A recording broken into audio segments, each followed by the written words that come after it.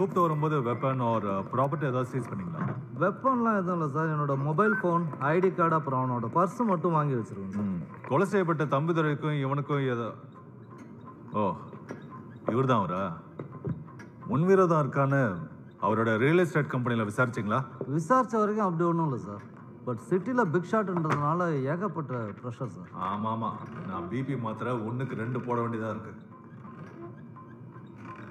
Sir TC ஐயா வந்துட்டு இருக்காருங்க ஓவர்.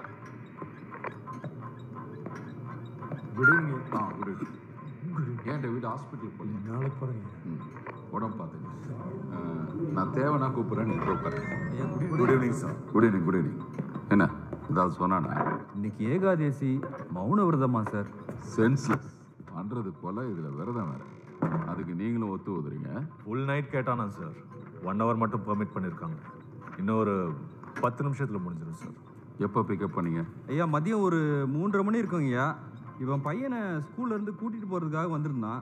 அப்பதான் ஓ அவன் அந்த பையன் தான் வெளியே உட்காந்துருக்கானே ஆமாங்க ஐயா. அவனுக்கு ஏதாவது சாப்பிட வாங்கி கொடுத்தீங்களா? கொடுத்துருப்பாங்க சார் நம்ம ரோசி தான் பார்த்துக்கிறாங்க சாமி நீங்கள் எப்போ மலைக்கு போகிறீங்க இந்த கேஸ் முடிஞ்சதுக்கு அப்புறம் சார் ஹியூமன் ரைட்ஸ் கமிஷன்லேருந்து ஒரு மெயில் வந்துருக்கு சார் என்னவா? ஒன்றும் இல்லை சார் இவனை அடித்து துன்புறுத்தாமல் விசாரிக்கணும்னு சொல்லி அவ்வளோ பெரிய ஆளா அவரு ஏய் மாசலாமணி. நீ ஒன்றும் பேசலாம் வேணாம் டைம் வேஸ்ட் பண்ணாமல் அந்த கொலையை எப்படி பண்ணன்னு மட்டும் எழுதி கொடு. அவனுக்கு நாலு பேப்பர் கொடுங்க. இந்தா. ம்.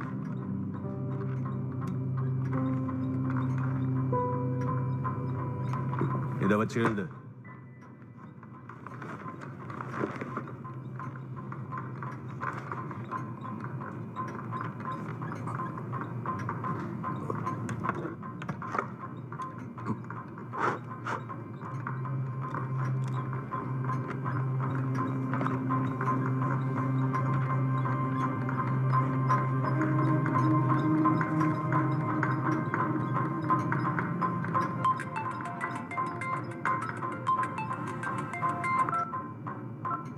திலகா ஆஃபீஸில் இருக்க சொல்லுமா பேசலாமா?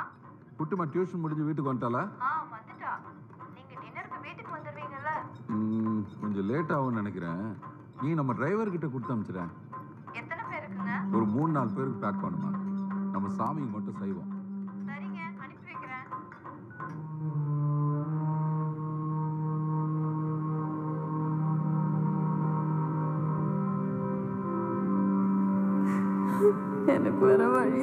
தெரியல மாமா மனசை கல்லாக்கிக்கிட்டு தானா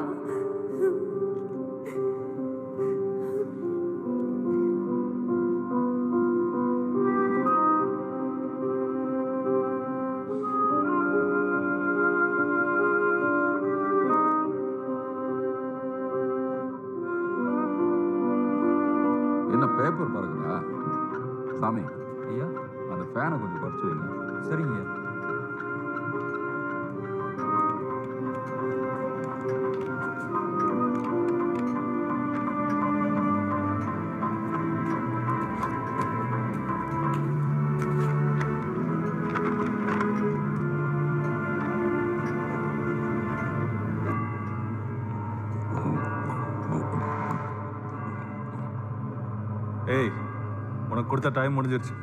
மேலே எஞ்சி உட்காரு. கையெழுத்து மட்டும் போட்டுட்டு கொடுத்துட்றேன் உன் கையெழுத்து தானே போடுற? அதுக்கு எதுக்கு இவ்வளோ நேரம்?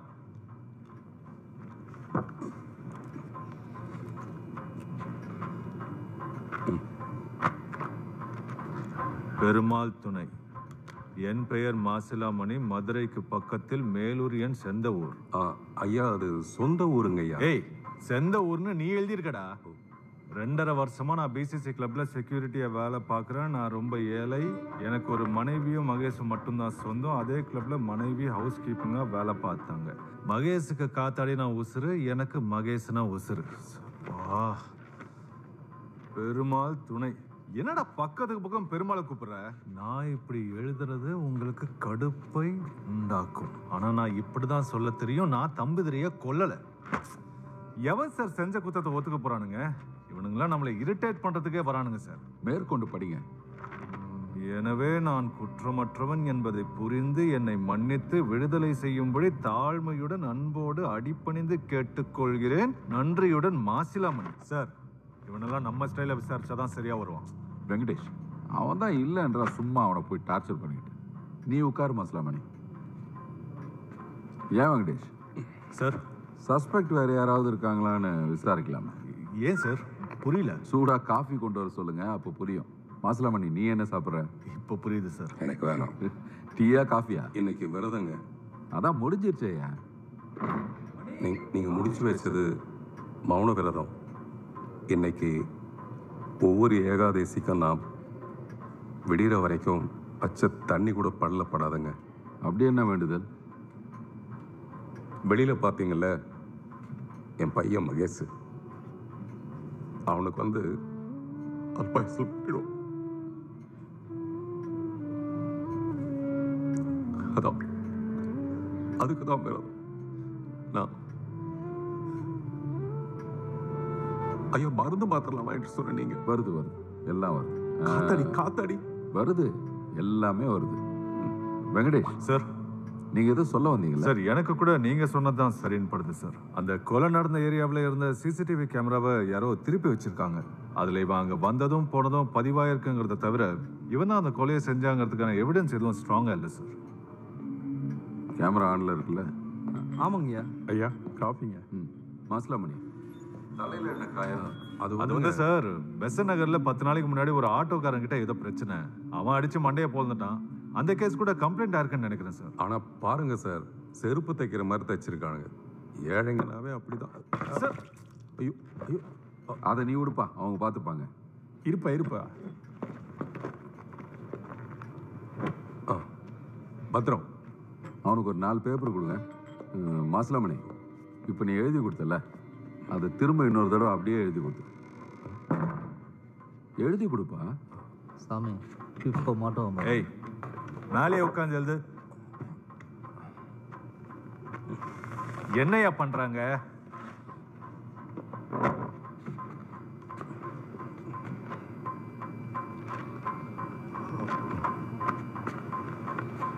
என்னது இது? யோ என்னையா இது? மறுபடியும் எழுதி கொடுறானா? ஏதோ கார்பன் காப்பி எடுத்து நீட்டுற? ஆமா. கார்பன் பேப்பரை வச்சு நீ எதுக்கு எழுதுன? ம்? ஐயா நீங்க கொடுத்த ஃபைல்ல கார்பன் இருந்ததுங்கய்யா. ஆ, ஒரு காப்பி எடுத்து வச்சிட்டோம்னா இந்த மாதிரி காப்பி எப்பி கொட்டுடுச்சுன்னா கூட யூஸாக இருக்குமேன்ட்டு தான். இல்லைன்னா இன்னொரு தடவை நான் எழுதி கொடுக்க சொல்லுவீங்க. அதே மாதிரி எழுதுறேனான்னு செக் பண்ணுறதுக்காக ஒரே மாதிரி எழுதுறது உங்களாலேயும் முடியாது என்னாலேயும் முடியாதுயா அது மட்டும் இல்லாமல் நாளைக்கு என்ன கோர்ட்டில் கொண்டு போய் நிற்க வச்சீங்கன்னா ஐயா கிட்ட நான் என்ன எழுதி கொடுத்தேன்னு என்கிட்ட ஒரு காப்பி இருக்கிறது உபயோகமாக இருக்கு. என்னடா ஓவரா பேசிட்டு இருக்க? வெங்கடேஷ். சார் இவனெல்லாம் கட்டி தொங்க விட்டா தான் சார். சரியா வருவான். இருங்க இருங்க வெங்கட் கத்துறாரு சார். பேசாதடா நான் உன்னை. பயமா இருக்கு சார். பாரு இப்போ உன்னை அடிச்சு. வெங்கட் சொல்லுங்க சார். சார். கூழ்றோம் விட்டா பேசிக்கிட்டே இருக்க? கூழ்றோம் வெங்கட் சார். அவன் எவ்வளோ கூலாக நம்மளை டீல் பண்ணுறான் பார்த்தீங்களா ஆ? ரொம்ப கிளவரான ஆளியா நீ. உன்னை அரெஸ்ட் பண்ண ரெண்டு மணி நேரத்துக்குள்ள ஹியூமன் ரைட்ஸ்ல இருந்து மெயில் வர வைக்கிற. நாளைக்கு உன்னை கோர்ட்டில் கொண்டு போய் நிறுத்தினா என்ன எழுதி கொடுத்தோன்றதை காமிக்க இங்கேயே ஒரு காப்பியும் எடுத்து வச்சுக்கிற. ஸோ நீ எதை பண்ணாலும் முன்கூட்டியே பிளான் பண்ணி தான் பண்ணுறல்ல இந்த கொலை உட்பட. ஐயா நான் ஹியூமன் ரைட்ஸுக்கெல்லாம் பிளான் பண்ணி போகலையா? இந்த போலீஸ் அடி தாங்க முடியாதுன்னு தான் வந்து இதானே? ஆமாம். ஆமாம் நான் சீனியர் லாயர் வேதாச்சலத்திட்ட ஒரு ரெண்டு வருஷம் வேலை செஞ்சேன். அவர்கிட்ட சொன்னேன் இந்த மாதிரி போலீஸ் பிடிச்சிட்டு போறாங்கன்னு. அவர் தான் இந்த இது பேர் என்னங்கய்யா? ஆ ஹியூமன் ரைட்ஸு அதுக்கு வந்து அவர் தான் என் மெயில் அனுப்ப சொல்லி சொல்ல சொன்னார். மற்றபடி நீங்கள் நினைக்கிற மாதிரி நான் அவ்வளோ பெரிய புத்திசாலிலாம் இல்லைங்கய்யா தெரியுது. இந்த கேஸை விசாரிக்க ஒரு இன்ஸ்பெக்டர் ஒரு எஸ்ஐ ரெண்டு பிசி போதும்.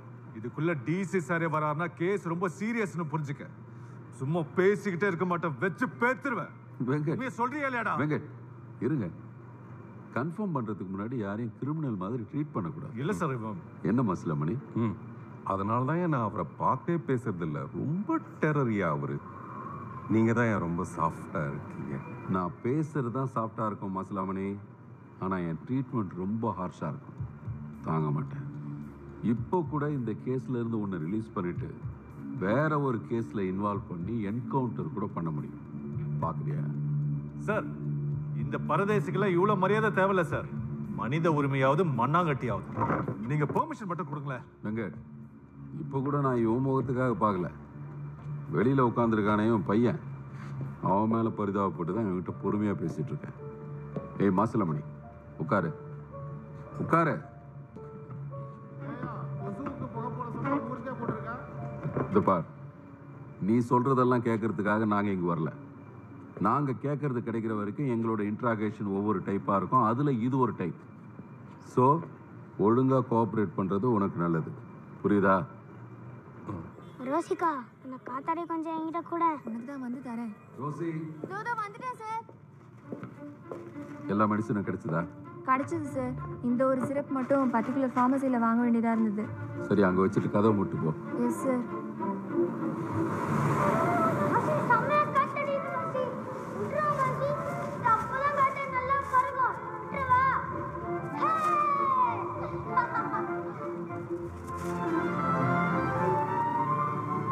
மாசிலாமணி. மாசிலாமணி ஐயா இது என்னன்னு தெரியுதா? எப்படி அது தெரியாம இருக்கும். மகேஷுக்காக மாசம் ரெண்டு தடவை வாங்குறேனே. இது நல்லா இனிப்பா இருக்கும்ட்டு நல்லா குடிச்சிருவாரு. இந்த மாத்திரை இருக்கு பாருங்க அதை கொடுத்தோம்னா துப்பு துப்புன்னு துப்பிடுவான். அதை கொடுக்கறதுக்குள்ள நம்ம உசுறு போயிடும். உன் பையனுக்கு என்ன வியாதி? இந்த துஷானே மஸ்குலர் டெஸ்ட்ரோபியாவாம் சொல்லி சொல்லி இது எனக்கே வாயில வந்துருச்சு. அப்படின்னா அது அப்படின்னா உடம்புல இருக்க உறுப்புலாம் வந்து கொஞ்சம் கொஞ்சமாக வேலை செய்யாமல் முதல்ல கால் போச்சு இப்போ கண்ணு போச்சு. அப்புறம் அப்படியே இந்த நுரையீரலில் இருக்க சதையெல்லாம் வந்து வேலை செய்யாமல் மூச்சு விட முடியாமல் இன்னொரு அஞ்சாறு வருஷம்தான். ஓ, எவ்வளவு வருஷமா இந்த நோய் இருக்கு? வயிற்றுல இருக்கும்போதே ஸோ இந்த மருந்தை மாசம் ரெண்டு தடவை வாங்குறேன். அதான் செல்வம். அந்த ஃபாரன்சிக் ரிப்போர்ட்டை கொடுங்க. சார் ஒரு- நிமிஷம். இந்தாங்க சார்.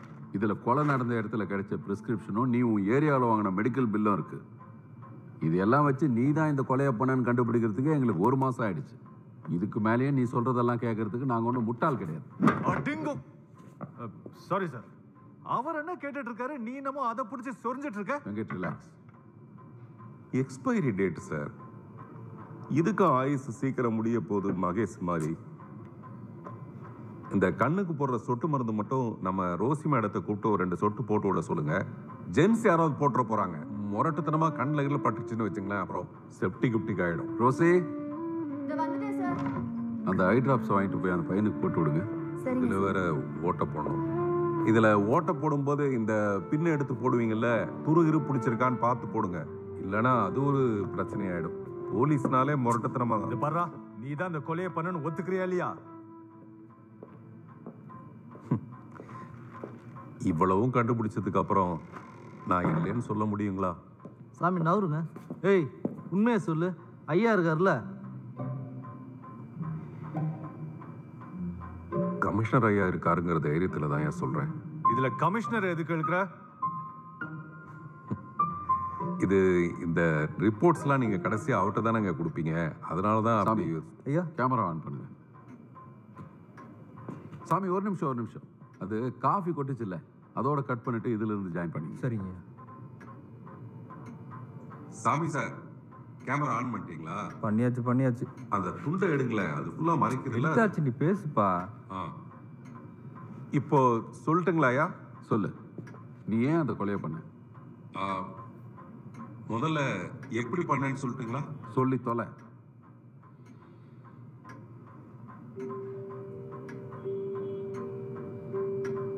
கொழுப்பியா? பணக்கொழுப்பு. அதை கரைக்கிறதுக்காக டெய்லி அவன் வாக்கிங் போவான். அவன் போட்டிருக்க ஷூ மட்டுமே இருபத்தி நாலாயிரம் ரூபாய். என் மூணு மாதம் சம்பளையா இந்த மாசம் வேற வேலைக்கே போகல. அதுக்கு எவ்வளவு பிடிச்சிக்கோ ஆசிலாமணி இங்க கேமரா பார்த்து பேசு. தம்பிதுரையை நான் ரொம்ப நாளா வாட்ச் பண்ணிட்டே இருந்தேன். அவன் அவனுடைய சின்ன வீட்டுக்கு ஒரு பெரிய வீடு வாங்கி கொடுத்துருக்கான். நைட்டு வந்து அங்கதான் தங்குவான். அதை யாரும் பார்த்துடக்கூடாதுங்கிறதுக்காக அவனுடைய பென்ஸ் காரை கொண்டு போய் அங்க இருக்கிற அம்மன் கோயில்கிட்ட கொண்டு போய் நிறுத்திட்டு வந்துடுவான் காலையில் எழுந்திரிச்சு வாக்கிங் போயிட்டு அப்புறம் அவர் அப்படியே வீட்டுக்கு போவார். நடுவில் வந்து ஒரு மூத்திர சந்தை ஒன்று இருக்கு. டெய்லி வந்து அங்கே ஒன்று கடிச்சிட்டு தான் அதுக்கப்புறம் மேலே போவான் அவன். அங்கே அப்படியே பயங்கர இருட்டாக இருக்கும். அதே இடத்துல அவனை காலி பண்ணிடலான்னு பார்த்தா இந்த மாதிரி ஒரு கேமரா கொண்டு போய் வச்சிருக்கானுங்க அங்கே. நான் போய் அந்த சிசிடிவி கேமராக்கு பின்பக்கமா போய் அதை வேற பக்கமா திருப்பி வச்சுட்டேன். ஆ அங்கதான் அந்த டிராபிக் ராமசாமி வந்து மறியல் பண்ணாருங்கிறதுக்காக அந்த கவர்மெண்ட் பேனர் எல்லாம் கொண்டு போய் சாச்சி பெரிய பெரிய பெரிய பெரிய பேனர் அப்படியே செவுத்தோரமா அப்படியே சாச்சி வச்சிருப்பானுங்க. அதுக்கு பின்னாடி போய் நான் மறைஞ்சிக்கிட்டேன். இந்த குளிருக்கெல்லாம் போடுவாங்கல்ல அந்த குரங்குல்லா அதை எடுத்து மாட்டிக்கிட்டு அதை அப்படியே பண்ணி காட்டு. குரங்குக்குள்ளாவ எப்படியா பண்ணி காட்டுறது இப்போ? ஏய் என்னையா அப்படி பாக்குறீங்க? ஒரு கொலையை பண்ணிட்டு உன்னால எப்படி இவ்வளோ ஃபன்னியா பேச முடியுது? போ அப்படி போய் நடிச்சு காட்டு. எனக்கு நடிப்பு அவ்வளோ வராதுங்கய்யா. ஏதோ முடிஞ்ச வரைக்கும் முயற்சி பண்றேன். ஏதோ ஒரு ஆஸ்கர் நாமினி மாதிரி பேசுறான் பாரு. சார். விடுங்க விடுங்க சாமி.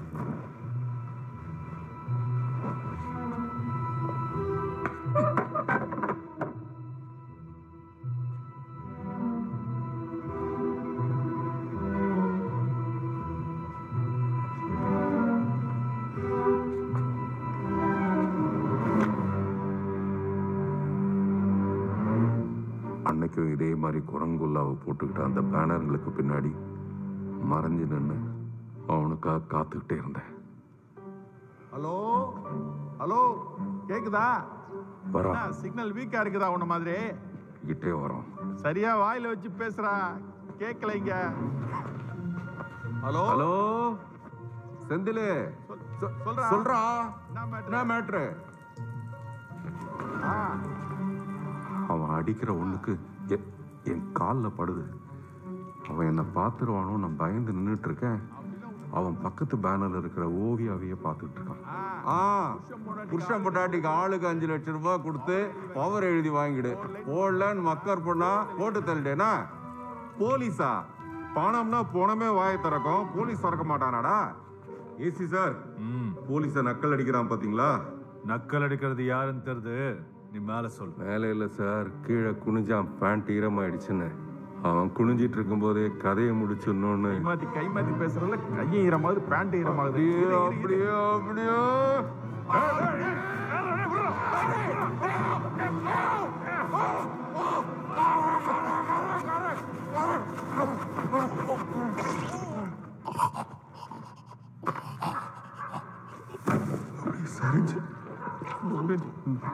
மாசிலாமணி என்ன வெப்பன் யூஸ் பண்ண? தனசெல்வம் அவன் யூஸ் பண்ண வெப்பன் ஆக்சுவலாக சார் அந்த காத்தாடி விடுறதுக்கு ஒரு நூல் அதுக்குமா நான் சொல்றேன் சார் காத்தாடினா மகேஷுக்கு உசுருன்னு சொன்னேன்ல. அந்த உசுருன்னு எவ்வளவு நாளைக்குன்னு தான் தெரியல. சொல்லு மாமா. குழந்தைக்கு என்னவா? டாக்டர் என்னதான் சொல்றாரு? சரி சரி மறைக்காம என்கிட்ட உண்மையை சொல்லு மாமா. என்ன ஏண்டி கேட்குற என்ன யாரை கேட்கறதா அந்த கடவுளை தான் கேட்கணும் எங்களை ஏன் இப்படி சோதிக்கிறேன்னு? இன்னும் பத்து பன்னெண்டு வருஷம் தான் இருப்பானா? மாசலாமணி மாசலாமணி என்னையா பாதி எங்க கிட்ட பேசுற பாதி உனக்குள்ளேயே பேசுகிற ஒண்ணுமே புரியலையே. I think he is mentally disturbed அப்படி நடிக்கிறான்னு நான் நினைக்கிறேன் சார் ம் பார்க்கலாம். மாசிலாமணி காராகாரன்னு அர்த்தம்னு சொன்னேன். அதுக்கப்புறம் சொல்லலையே. ஆமா.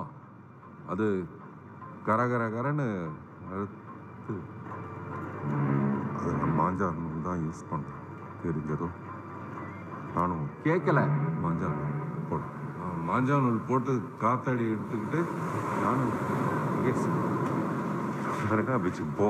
அங்கே போய். மாசி மாசி இப்போ நல்லா காத்தடிக்குது. விட்டுறவா விட்டுறவா சீக்கிரம் சொல்லு. விட்டுறவா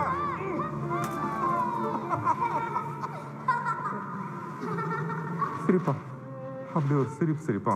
அந்த சிரிப்பு மாசிலாமணி கொலை எப்படி செஞ்சேன்னு சொல்றானா காத்தாடி எப்படி விட்டேன் ரீல் விட்டுட்டு இருக்க ஆ? சார் எனக்கு இப்படிதான் சொல்ல தெரியும். முடிஞ்சா கேளுங்க. இல்லைன்னா நீங்களே ஏதாவது ஒன்று எழுதி கொடுங்க. நான் கையெழுத்து போட்டு கொடுத்துட்றேன். ம். வெங்கடேஷ். சார். அவனை அவன் இஷ்டத்துக்கு சொல்ல விடுங்க. அவன் இஷ்டத்துக்கு தானே சார் சொல்லிட்டு இருக்கான்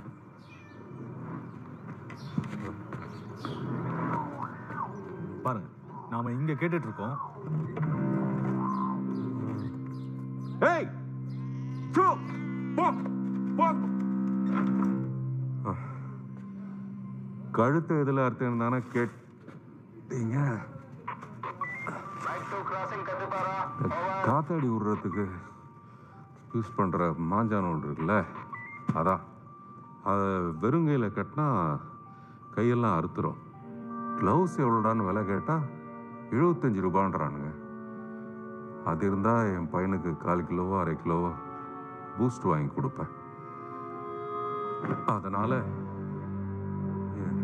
ரெண்டு கையிலையும் கர்ச்சிஃபை கட்டிக்கிட்டு எனக்கு முன்னாடி குனிஞ்சவன் கழுத்துல மாஞ்சா நூலை போட்டு இறுக்கி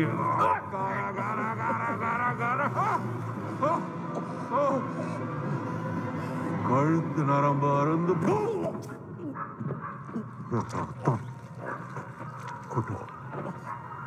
அப்படியே சரிஞ்சு அவன் துடிப்பு முழுசா அடங்கலை. அங்கேருந்து இன்னும் ஒழுகிக்கிட்டே இருந்தது. அதை பார்த்ததும் எனக்கு பயங்கர ஆத்திரம் ஆத்திரம். பக்கத்தில் ரெடியாக வச்சிருந்த கல்ல என்ன சார்? இவன் இவ்வளவு வியடா பிஹேவ் பண்றான்? அவன் என்ன தான் பண்ணுறான்னு பார்க்கலாம். சாவுடா. சாமி வேற ஏதாவது கூட்டு க்ளீன் பண்ண சொல்லுங்க.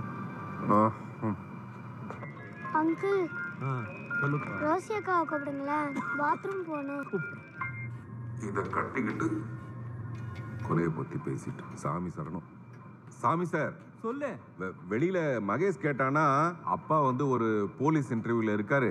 அவங்க கேட்குற கேள்விக்கெல்லாம் டான் டான் பதில் சொல்றதுனால அவங்களே கன்ஃபியூஸ் ஆகி அடுத்து என்ன கேட்கறதுன்னு தெரியாம சார் தப்பா நினைச்சுக்காதீங்க. என் பையன்கிட்ட எப்பவுமே நான் அப்படிதான் பில்டப் பண்ணி சொல்லுவேன். ஒரிஜினலா நான் வந்து அந்த கிளப்ல செக்யூரிட்டியா இருக்கேன். ஆனா என் பையன்கிட்ட வந்து நான் மேனேஜரா இருக்கேன்னு சொல்லி வச்சிருக்கேன்.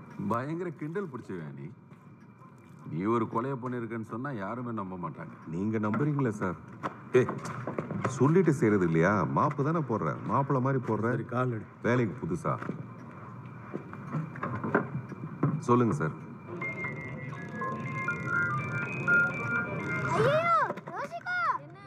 இதுக்கு எதுக்கு ஏசி டிசி எல்லாம் வர வச்சுங்க? அவன் தான் முரண்டு பிடிக்காம நடந்தது எல்லாத்தையும் கடகடன்னு சொல்லிட்டானே. தனசெல்வம் சார். வீட்டுக்கு ஃபோன் பண்ணி நான் நேராக டின்னருக்கு வீட்டுக்கே வந்துடுறேன்னு சொல்லிருங்க. Okay sir. மாசிலாமணி சார். இவ்வளோ நேரம் நீ என்ன சொன்னியோ அதை அப்படியே எழுதி கொடுத்துருப்பான் அவன்கிட்ட பேப்பர் கொடுங்க. எஸ் சார்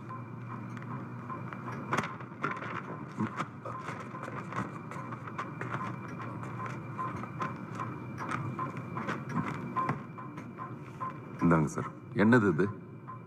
எழுதி கையெழுத்து கூட போட்டிருக்கேன் சார். ஏய் என்ன விளையாடுறியா? நான் இதை கேட்கல இப்போ சொன்னேன்ல கரகரன் கழுத்தா இருத்தேன் க- நச்சுன்னு கல்லு தூக்கி போட்டு சாக அடிச்சேன்னு அதை எழுதி கொடுறான்னா ஏற்கனவே எழுதின பேப்பரை நீட்டுற? இதுல அதுதான் எழுதியிருக்கேன் எதுல எதை தான் எழுதியிருக்க? பாருங்க.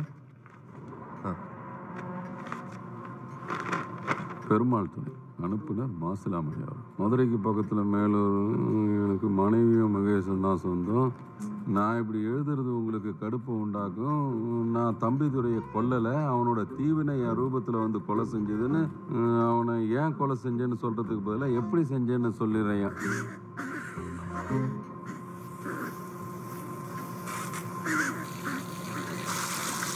ஓ. நான் கூடயா? நீங்க அப்செட் ஆனதை பார்த்து யாரோ நக்கல் அடிச்சு சிரிக்கிறாங்க போல இருக்குன்னு பார்த்தேன். அப்ப நான் டேப்பை திறந்து வச்சேன் இல்லைங்க? திடீர்னு யாரோ மோட்டர் ஆன் பண்ணியிருக்காங்க. அதனால நீங்கள் நீங்க படிங்கய்யா. அவனுக்கு வாக்கிங் போகிற பழக்கம் உண்டு. அதனால் அவன் எந்த வழியாக வாக்கிங் போனானோ அந்த வழியாக நான் காத்துக்கிட்டு இருந்தேன். ஒன்றுக்கு அடிச்சுக்கிட்டே பேசுனதுனால அவன் பேண்ட்டு ஈரமாயிடுச்சு. அவன் குளிஞ்சான் அப்போ மாஞ்சா நூல் போட்டு அறுத்துட்டு அவனோட ஆண் உறுப்பில் கல்லை போட்டு நசுக்கி கொன் கடவுள் தான் அவன் செஞ்ச பாவத்துக்கு தக்க தண்டனை கொடுத்துருக்காரு. முட்டாளாக்குறான் சார் இவன். அதியா சரியா படிக்கலனாவே இப்படிதான்யா அப்ப நான் சரியா படிக்கல இப்ப நான் கஷ்டப்படுறேன். அப்ப ஏசி ஐயா சரியா படிக்கல இப்ப நீங்க எல்லாருமே கஷ்டப்படுறீங்க. ஏசி ஐயா என்ன நினைச்சிருப்பாரு? எந்த குத்தவாளி தன்னுடைய குத்தத்தை ஒத்துக்க போறான்னு நினைச்சிருப்பாரு. இல்லைங்கய்யா டேய் போ போய் உட்கார். இவங்ககிட்ட டிக்ளரேஷன் ஃபார்மில் கையெழுத்து வாங்கிட்டு நாளைக்கு காலைல கோர்ட்டில் இவனை ப்ரொடியூஸ் பண்ணுறதுக்கு ஏற்பாடு பண்ணுங்க. ஓகே சார் ஏய் இதில் ஒரு கையெழுத்து போடு. வெங்கடேஷ் நான் கிளம்புறேன். ஓகே சார் ஐயோ ஐயா ஐயா என்னையா ஒன்றும் சொல்லாம போறீங்க? ஏன் ஊட்டியே சொல்லிட்டு போகணுமா? ஏழை சொல்லு சபையருமா நான் என்ன அரசியல்வாதியா நான் சொல்றதெல்லாம் நீங்க கேட்கறதுக்கு இந்த பாருங்கய்யா இதுல ஃபுல் அண்ட் ஃபுல் கம்ப்ளீட்டா இங்கிலீஷாவே இருக்கியா? இது என்ன ஏதுன்னு அண்டர்ஸ்டாண்ட் பண்ணிக்காம எப்படியா நான் கையெழுத்து போடுறது? தனசெல்வம் நீங்களும் சேர்ந்து என்னை இரிட்டேட் பண்ணாதீங்க. அவனே ஒரு அகராதி அவங்ககிட்ட. தமிழ்ல மாத்தி கையெழுத்து ஐயா இது தமிழ்ல மாத்தி எடுத்துட்டு வர வரைக்கும் நான் ஒண்ணு உங்ககிட்ட கேட்கட்டுங்களா என்ன? சீக்கிரம் சொல்லு. அதான் அந்த போன ஜனவரி பதினாறாம் தேதி மதுரைக்கு பக்கத்துல அந்த மாட்டு தாவணிங்கிற ஒரு இடம் இருக்குல்ல அங்க வந்து காலங்காத்தால ஒரு கொலை நடந்தது. அந்த கொலையாளி யாருன்னு கண்டுபிடிச்சிட்டீங்களா? இவனோட என்னையா? பெரிய ரோதனையா போச்சு. ஏய் அது எதுக்குடா நாங்க கண்டுபிடிக்கணும்? அதை மதுரை எஸ்பி கிட்ட தான் கேட்கணும். அத நீங்களே ஐயா நீங்களே கொஞ்சம் கேட்டு சொல்ற நல்லா இருக்குங்கய்யா. இந்தா கையெழுத்து சரியா எனக்கு என்ன? நானு கையெழுத்து போடுறேன். ஆனா இதெல்லாம் கரெக்டா இருக்குங்கல்ல ஏன்னா கண்ணாடி இல்லாம எனக்கு கண்மூடித்தனமா கையெழுத்து போட்ட அப்புறம் அது இரு இரு இரு, இரு. ஆ, இப்ப எதுக்காக நீ அதை பத்தி கேட்ட? இல்லையா அந்த மதுரை கேஸ்ல யாரையாவது அரெஸ்ட் பண்ணியிருந்தா ரிலீஸ் பண்ணுங்கய்யா ஏன்?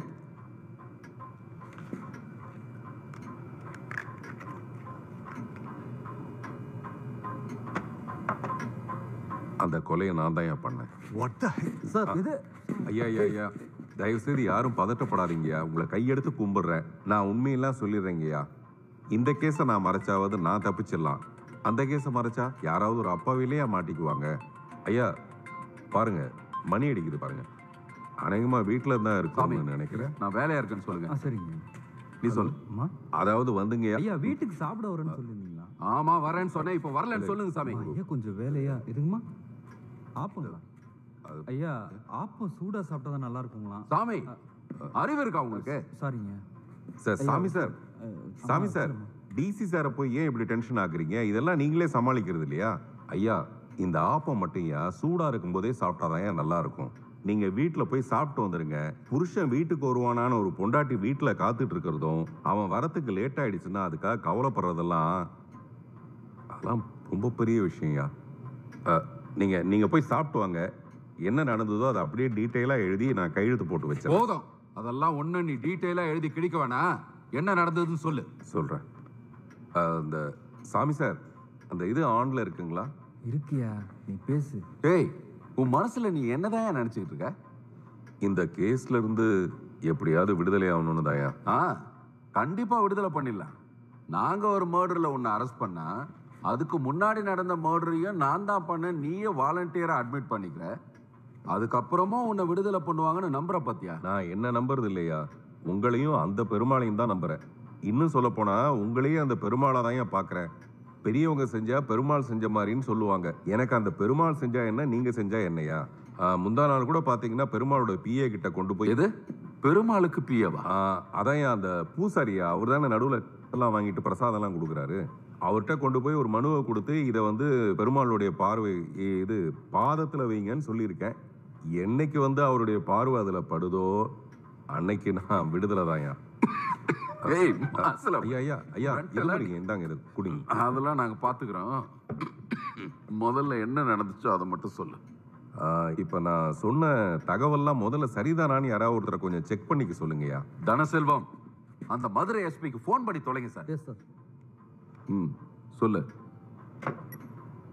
ஜனவரி பதினாறு காணும் பொங்கலுங்க. நான் வந்து பதிமூணாம் தேதியே வந்து மதுரைக்கு போய் அங்க அந்த. தமுக்கம் மைதானம் Speakerல போடுங்க. அதில் ரூம் போட்டு தங்கியிருந்தேன். சார். ஆ ராகுல் குட் ஈவினிங் ஒரு சின்ன கிளாரிஃபிகேஷனுக்காக தான் ஃபோன் பண்ண சொன்னேன். போன ஜனவரி பதினாறாம் தேதி உங்கள் டிஸ்ட்ரிக்டில் மாசிலாமணி. அது எந்த இடம்?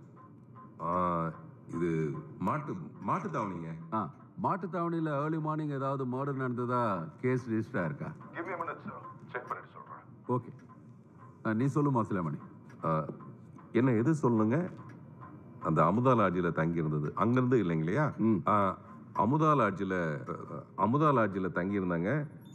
நான் தங்கியிருந்த தமுக மைதானத்துல இருந்து அந்த மாட்டுத்தாவணி வரைக்கும் ராகுல் சொல்லுங்க.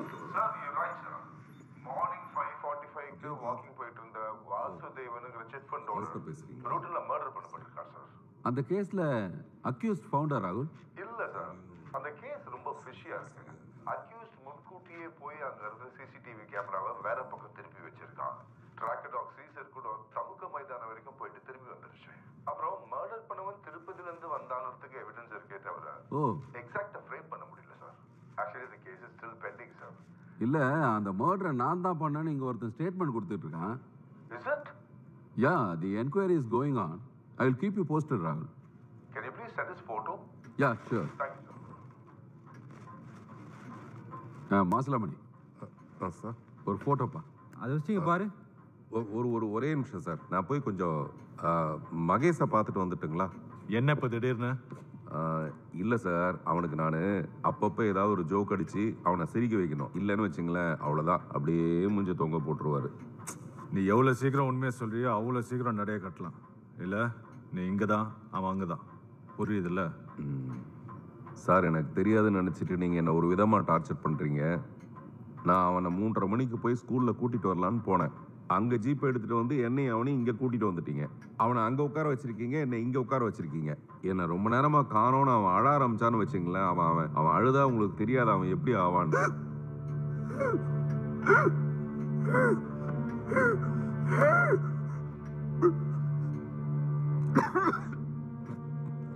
அப்படியே நின்றுடும் அப்படிதான் ஒரு தடவை ஆச்சு. அவ்வளவுதான். துடிச்சு செத்து போயிட்டோம். நாங்க செத்து போயிட்டோம். அந்த மாதிரி ஏதாவது ஒண்ணு ஆயிடுச்சுன்னா எனக்கு தெரியாது. நான் என்ன பண்ணுவேன்னு தெரியாது. யார் என்னெல்லாம் பார்க்க மாட்டேன். எல்லாரையும் எல்லாரையும் கொலை பண்ணுவேன் டேய் என்னடா கொலை? பண்ணிட்டு நானு ஜெயிலுக்கு சொல்லிடுவேன் நீங்களுமா சார் அதுக்கப்புறம் எனக்கு எதுக்கு? மாசிலாமணி அமைதியா இருப்பார் காம் டவுன் இல்ல இல்ல. அவர் எப்ப பார்த்தாலும் அப்படியே. எதுக்கு? என்ன திடீர்னு? போலீஸ் என்கொயரினா அப்படிதான். என்ன? எல்லாரும் ஒரே மாதிரி எல்லாம் பேசிட்டு இருக்க மாட்டாங்க. உனக்கு என்ன? உன் பையனை பார்க்கணும் அவ்வளவுதானே? போட்டோ எடுத்துட்டு போலாம். முதல்ல கேமராவை பாரு. சாமி. மாசிலமணி இங்கே பாரு. ஒரு நிமிஷம் ஒரு நிமிஷம். அழுவ வச்சு போட்டோ எடுக்கிறாங்க.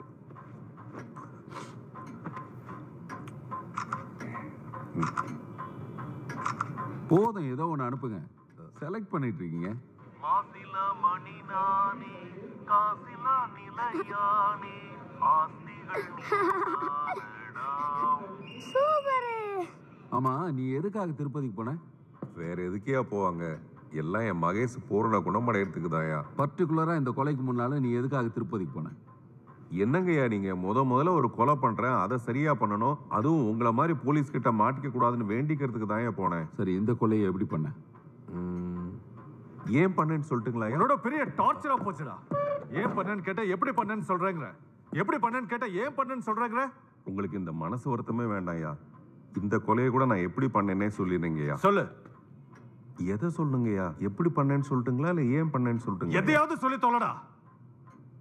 தப்பு செஞ்சுட்டு தப்பிக்கிறவனை விட தப்பிக்கவே முடியாம தப்பு செய்றான் பாத்தீங்களா? அவன் ஜாஸ்தி?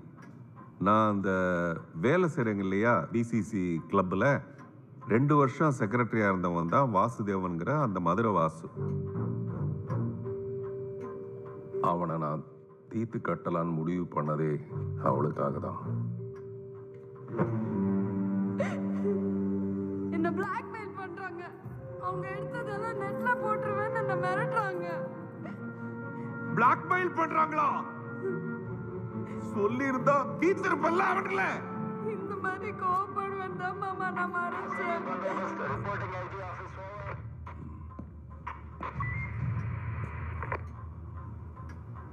கோலவெறி வந்தது. உஷா அந்த விஷயத்தை தயங்கி தயங்கி சொன்னப்போ. யார் அந்த உஷா?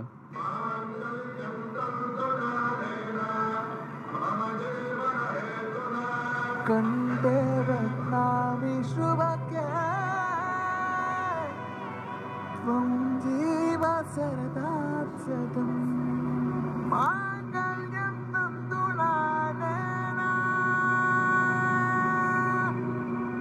மாசிலாமணின்னு மொட்டையாக போட்டிருக்கோம். இந்த பக்கத்தில் பார்த்தீங்கன்னா அந்த மஞ்சளில் சவப்பு எழுத்தில் திருநரை செல்வி சௌபாகியவதி மா உஷா பிஜிடிசிஏன்னு அப்படியே அழகழகாக கொட்டை கொட்டையாக எழுதி பிஜிடிசி சார். அது பத்தாம் கிளாஸ் ஃபெயில் கூட படிக்கிற சாதாரண கம்ப்யூட்டர் கோர்ஸ் ஐயோ சார். எங்க கிராமத்துல அது பெரிய படிப்பு சார். அன்னைக்கு மணவரில் கொண்டு போய் என்ன மாப்பிள்ளை மாதிரி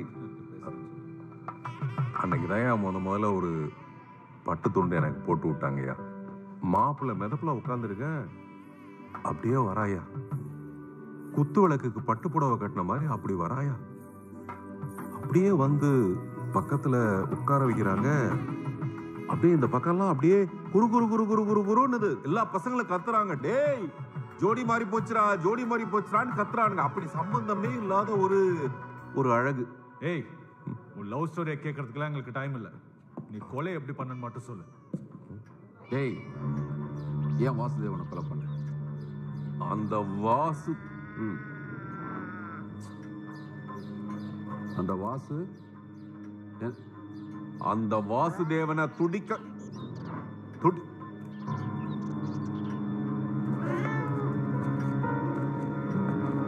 பாருங்க சார் மறுபடியும் ஆரம்பிச்சிட்டோம்.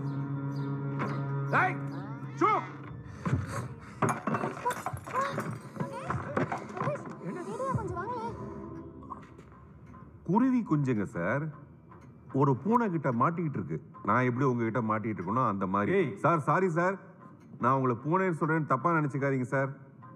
நீங்கள் அந்த குருவியாக இருந்து பாருங்கள் அப்போ தெரியும்.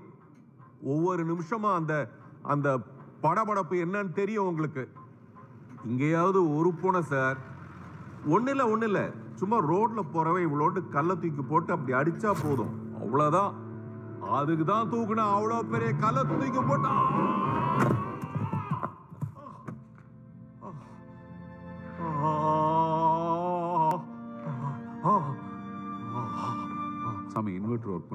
என்னன்னு பாருங்க.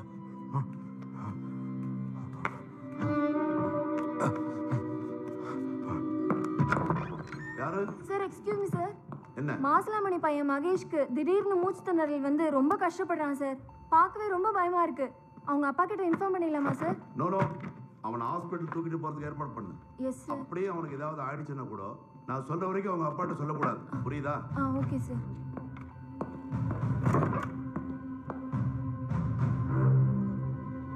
நீ போன ரூம் போட்டு தங்கினன்ற அப்புறம் கல்லு தூக்கி போட்டேன்ற நடுவில் என்னாச்சு? கரண்ட் வந்துருச்சு. முதல் நாள் நான் தள்ளி போட்டேன் ரெண்டாவது நாள் தள்ளி போட்டேன் மூணாவது நாள் தான் கல்லை போட்டேன். பதினஞ்சு பதிமூணு பதினாலு பஞ்சு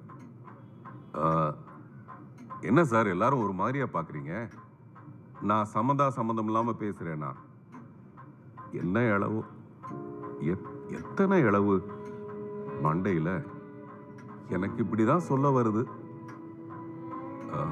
நான் என்ன பரம்பரை கொலகாரனா sir? Sami sir DC sir சொன்னார்ல அப்போ இந்த காப்பி கொட்டினதுக்கு அப்புறம் பேசினதெல்லாம் வெட்டிட்டு இதையும் எதையும் ஜாயின் பண்ணீங்கன்னு சொன்னார்ல.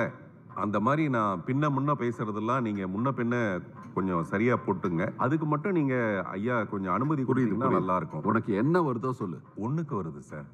நீங்க ரொம்ப நேரமா என்ன அடைச்சி திமிர வச்சிருக்கீங்க பாருங்க. நான் வந்து அதை அடக்கி வச்சிருக்கேன் சார். ரொம்ப கஷ்டமா இருக்கு. போயிட்டு வந்துட்டுங்களா? போ போ. ஒரே ஒரு செகண்ட் தான் சார். அந்த காலத்தெல்லாம் போலீஸ் அடினா அங்கேயே ஒண்ணுக்கு போயிடுவாங்கன்னு சொல்லுவாங்க. நீங்க வேற என்ன அடிக்கவே இல்லை. குற்றவாளியா இருந்தா கூட அவனை மனிதநேயத்தோட தான் விசாரிக்கணும்னு புரிஞ்சுக்கிறீங்க பாத்தீங்களா? இந்த புரிஞ்சுக்கிறது மட்டும் எனக்கு இருந்திருந்தா நான் ஏன் இங்க வந்து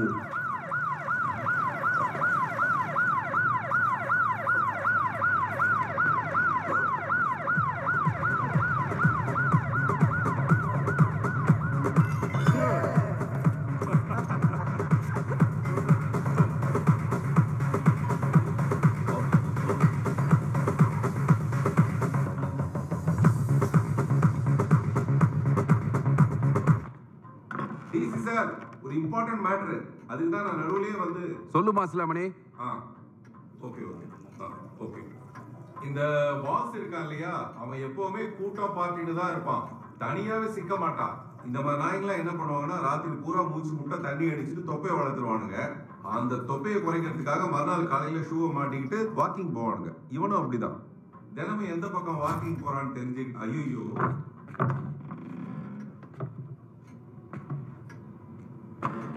அன்னைக்கும் காந்தி பார்க்ல இதே மாதிரி தான் இருட்டு எடு. நாலரை மணிக்கெல்லாம் அங்கே போய் நின்றுட்டேன் அங்கே போனால் அங்கே ஒரு இடத்துல ஒரு ஆள் உயர கார்பரேஷன் குப்பை தொட்டி இவ்வளோ பெருசு இருக்கும்.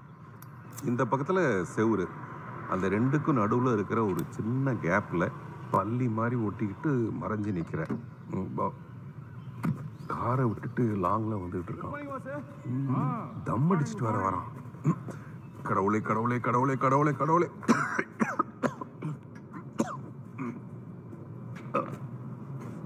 இவனுங்கெல்லாம் நம்ம கொலை செய்ய வேண்டிய அவசியமே கிடையாது. இவனுங்களா இருமி இருமி நுரையீரல் அழுவி தானா செத்துடுவானுங்க அப்புறம் சங்கு தான். விட்டிங்களாயா? இதே மாதிரி கம்ப்ளீட்டா விட்டீங்கன்னா உங்க ஹெல்த்துக்கு ரொம்ப நல்லது டிசி சார். யாரு யாருக்கு அட்வைஸ் பண்றதுன்னு ஒரு விவஸ்தையே இல்லாம போச்சு. போற போக்குல இவன் புத்தனாய் நம்மள குத்தவாளி ஆக்கிடுவான் போல இருக்கு சார். வந்துகிட்டு இருக்கான். எவன்டா? ஜி வாசுதேவன்.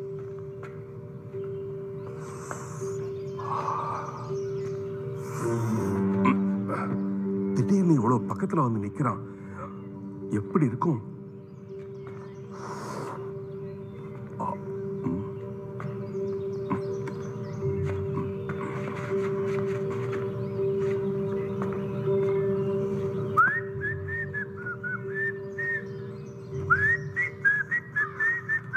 ஆ, போதுங்களா சார்? இப்படி இப்படி இப்படி இப்படி மாறி மாறி நடிச்சு காட்டுறது நடிச்சு காட்டுறதா கொஞ்சம். வேகமா தான் நடிச்சு காட்டு. என்ன சார் இப்போ உங்களுக்கு? வேக வேகமா நடிக்கணும் அவ்வளவுதானே சார்? சார் நான் இப்படி நின்றுட்டு இருக்கேன் சார். அவன் முடிச்சு போட்டான் முடிச்சு போட்டான் ரொம்ப நேரமா அந்த லேசா முடிச்சு போட்டுருந்தான் சார். ஒரு வழியா அவன் ஏஞ்சி போனதுக்கு அப்புறமேல ஓடுறேன் சார். பின்னாடி திரும்பி பார்த்தா ரெண்டு பேரும் பிடிச்ச நாய்ங்க துரத்துது சார். அங்க இருந்து ஓடுனா அமுதா லாட்ஜுக்கு போய் டங்கு தலையில அடிச்சு பின்னாடி போய் விழுந்துட்டேன் சார். உள்ளுக்குள்ள போனா போர்வை எடுத்து போதுனா ஐம்பது பை சார். எல்லாம் என்ன பயமுறுத்துது? எங்க எப்படி எப்ப தூங்கணும்னு தெரியல சார். ராத்திரி பூரா எனக்கு தூக்கமே இல்லை சார். மறுநாள் காலைல ஓடுனேன் சார். ஓடி போய் அங்க நின்னுட்டு இருக்கேன் சார். கரெக்டா. அதே இடத்துல வந்து வெயிட் பண்ணிட்டு இருக்கேன். அங்க நின்று பாக்குறேன் வழக்கமா வர நேரத்துக்கு வரவே இல்லை சார். பத்து நிமிஷம் கழிச்சு அப்புறம் வந்தா சார். வந்தவனை பார்த்தா வேற ஒரு பொம்பளையோட வரா சார். அவளும் வாக்கிங் வந்துட்டு இருக்கா சார். அவன் அநேகமா அவனோட பொட்டாட்டியா இருக்கலாம் இல்லாட்டி வேற ஒருத்தரோட பொட்டாட்டியா இருக்கலாம் சார். அவன் அப்படிப்பட்ட ஆள் தான் சார். சார் இவ்வளவு வேகமா இடைவெளி விடாம பேசுறது ரொம்ப கஷ்டமா இருக்கு சார். கொஞ்சம் இடைவெளி விட்டு விட்டு பேசிட்டீங்களா சார்? நீ சொல்லி முடிச்சா கேஸை க்ளோஸ் பண்ணிட்டு நாங்களும் போயிட்டே இருப்போம். ஏதாவது சொல்லிடுவேன் நாங்களும் காத்துக்கிட்டு இருக்கோம். நீ விஷயத்துக்குள்ளேயே வரமா? மூணாவது நாள் சார். அவனை முடிச்சிடலான்னு முடிவு பண்ணி இவ்வளோ சாணியை கையில் எடுத்துக்கிட்டு எனக்கு முன்னாடி அந்த சாணியை போட்டேன் சார். ஒரே நாத்தம் சார். சாணியை போட்டு நிற்கிறேன் சார். இன்னைக்கு கொஞ்சம் அமைதி சார். ரெண்டு நாளாக ப்ராக்டிஸ் பண்ணதில் கொஞ்சம் அமைதி சார். வரான் சார். வரான் சார். வரான் சார். வந்தான் கரெக்டாக சாணியில் காலை வச்சான் சார். கரெக்டாக ஷிட்டுன்னு சொன்னான் சார் நான் அடுத்து என்ன பண்ணுறதுன்னு பார்த்தேன் சார் அவன் அந்த காலில் பட்ட சாணியை உதறதுக்காக அப்படி இப்படி இப்படி இப்படி குனிஞ்சான் சார் அவ்வளோதான் சார் அப்படியே பார்த்தேன் சார் கையில் மாஞ்சானூரை எடுத்து கட்டினேன் சார் கட்டி அப்படியே போட்டு அப்படி இழுத்து காரா காரா காரா காரா காரா காரா கத்துறாங்க சார் கத்துறாங்க சார் அந்த பார்த்தாங்க யாரோ ரெண்டு பேர் வராங்க சார். இவன் சத்தாங்க. கேட்டுடுமோன்னு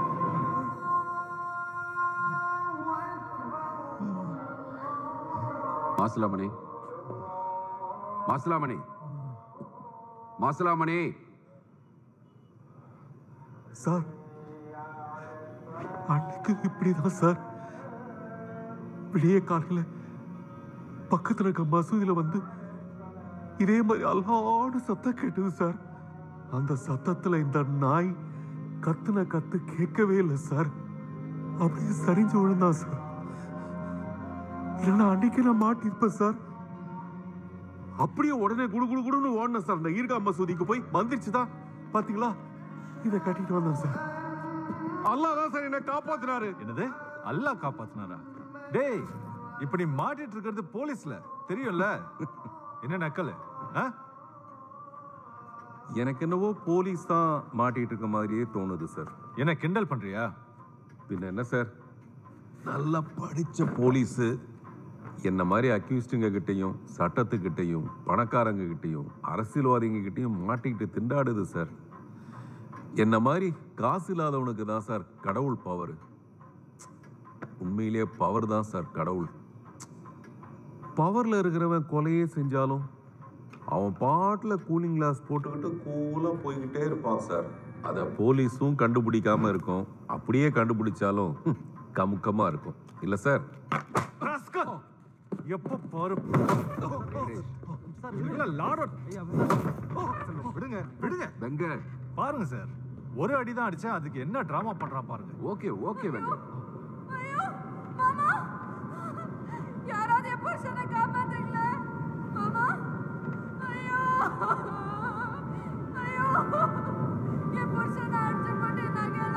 தனசலு சார். ஜேசி ஆஃபீஸ்க்கு ஃபோன் பண்ணி. இந்த நேரத்தில் யாராவது சைக்காலஜிஸ்ட் கிடைப்பாங்களான்னு கேட்டு பாருங்க. எஸ் சார் அவனை அப்பவே தீர்த்திருந்தா எல்லா பிரச்சனையும் தீர்ந்திருக்கும். அதை நாம பண்ணாம விட்டோம். மாசிலாமணி. மாசிலாமணி என்ன பிரச்சனை? உன் பிரச்சனைக்கு யார் காரணம்னு சொல்லு. அவங்க மேல நாங்க ஆக்ஷன் எடுக்கிறோம்.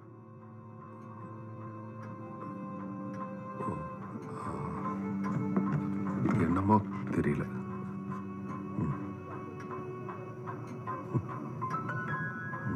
சொல்லு மாசிலாமணி. கண்டிப்பா நாங்க ஆக்ஷன் எடுக்கிறோம். அப்படிங்களா? நான் சொல்றவன் மேல உங்களால எந்த ஆக்ஷனும் எடுக்க முடியாது. அவன் உங்க எல்லாரையும் விட பவர் அவனை ஏற்கனவே ஒருத்தன் சுட்டான். அப்படி அவன் சாவல. சிரிப்பான் பாருங்க. ஒரு பொக்கை. அப்படி ஒரு பொக்கை வாயை வச்சுட்டு ஒரு சிரிப்பு சிரிப்பான் பாருங்க. சாமி சார். என் பர்ஸு. அதெல்லாம் பத்திரமா இருக்கியா நம்ம ஆளுங்கிட்ட? அதனால தான் பயந்துட்டு கேட்குறேன் ஏண்டா அதுல ஒரு நூறு ரூபாயாவது வச்சிருப்பேடா நீ? ஆமாம் அது வரைக்கும் நூறுரூபா ஐநூறுரூபா நோட்டில் மட்டுமே பார்த்துட்டு இருந்தேன் நான். முதல் தடவையாக ரெண்டாயிரம் ரூபாய் நோட்டில் அவரை பார்த்தேன். மசலமணி இந்தா அந்த கிளப்பில் மெம்பராக இருக்கிற டாக்டர் தான் டிப்ஸாக கொடுத்துட்டு போனார். அதை எடுத்துட்டு போய் உஷா கிட்ட நீட்டினேன். ஹை ரெண்டாயிரம் ரூபாய் இதே கலர்ல என்கிட்ட ஒரு ஜாக்கெட் இருக்கு. அவ அப்படியே என்னை கட்டி பிடிக்க நான் அப்படியே அவளை கட்டி பிடிக்க மூஞ்சி பூரா முத்தம் முத்தம் முத்தம் முத்தம். என்னடி என்னைக்கு இல்லாம இன்னைக்கு? அவ்வளவுதான். நெஞ்சோரமா சாட்சி என்ன?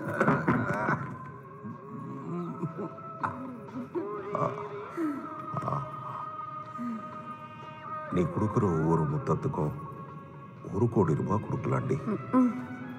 ரெண்டாயிரம் ரூபாய் நோட்டையே நீ இப்போதான் கண்ணில் காட்டுற. ஒரு கோடியாம் இவ்வளவும் அந்த பொக்கவாய் தாத்தாவுக்கு தான் உனக்கு இல்லை அவனை எழுப்பி விடுங்க. இன்னும் கூட கஷ்டப்பட்டு அவளை எப்படியாவது சந்தோஷமா வச்சுக்கணும்னு ஏ பார்க்கறேன் மாசிலாமணி அது எப்படி எழுந்துரு. இங்க என்ன நடந்துகிட்டு இருக்கு? நீ பேசாம படுத்துக்கிட்டு இருக்க. எழுந்துருன்னு சொல்றேன்ல. எழுந்துரு. சாரி சார் நான் ஒரு பஞ்ச பரதேசி. பரதேசி சார் என் வாழ்க்கைய ஒரு பஞ்சு மிட்டாய் கலர்ல இருக்க ஒரு ரூபா நோட்டு வந்து கெடுத்துச்சுன்னா அப்ப யார் மேல கோவம் வரும்? சொல்லுங்க. எல்லாம் எல்லாம் இவனாலதான். என் பொண்டாட்டி கெடுத்ததே அவன் காந்தி போட்டோவே உடைக்கலையா?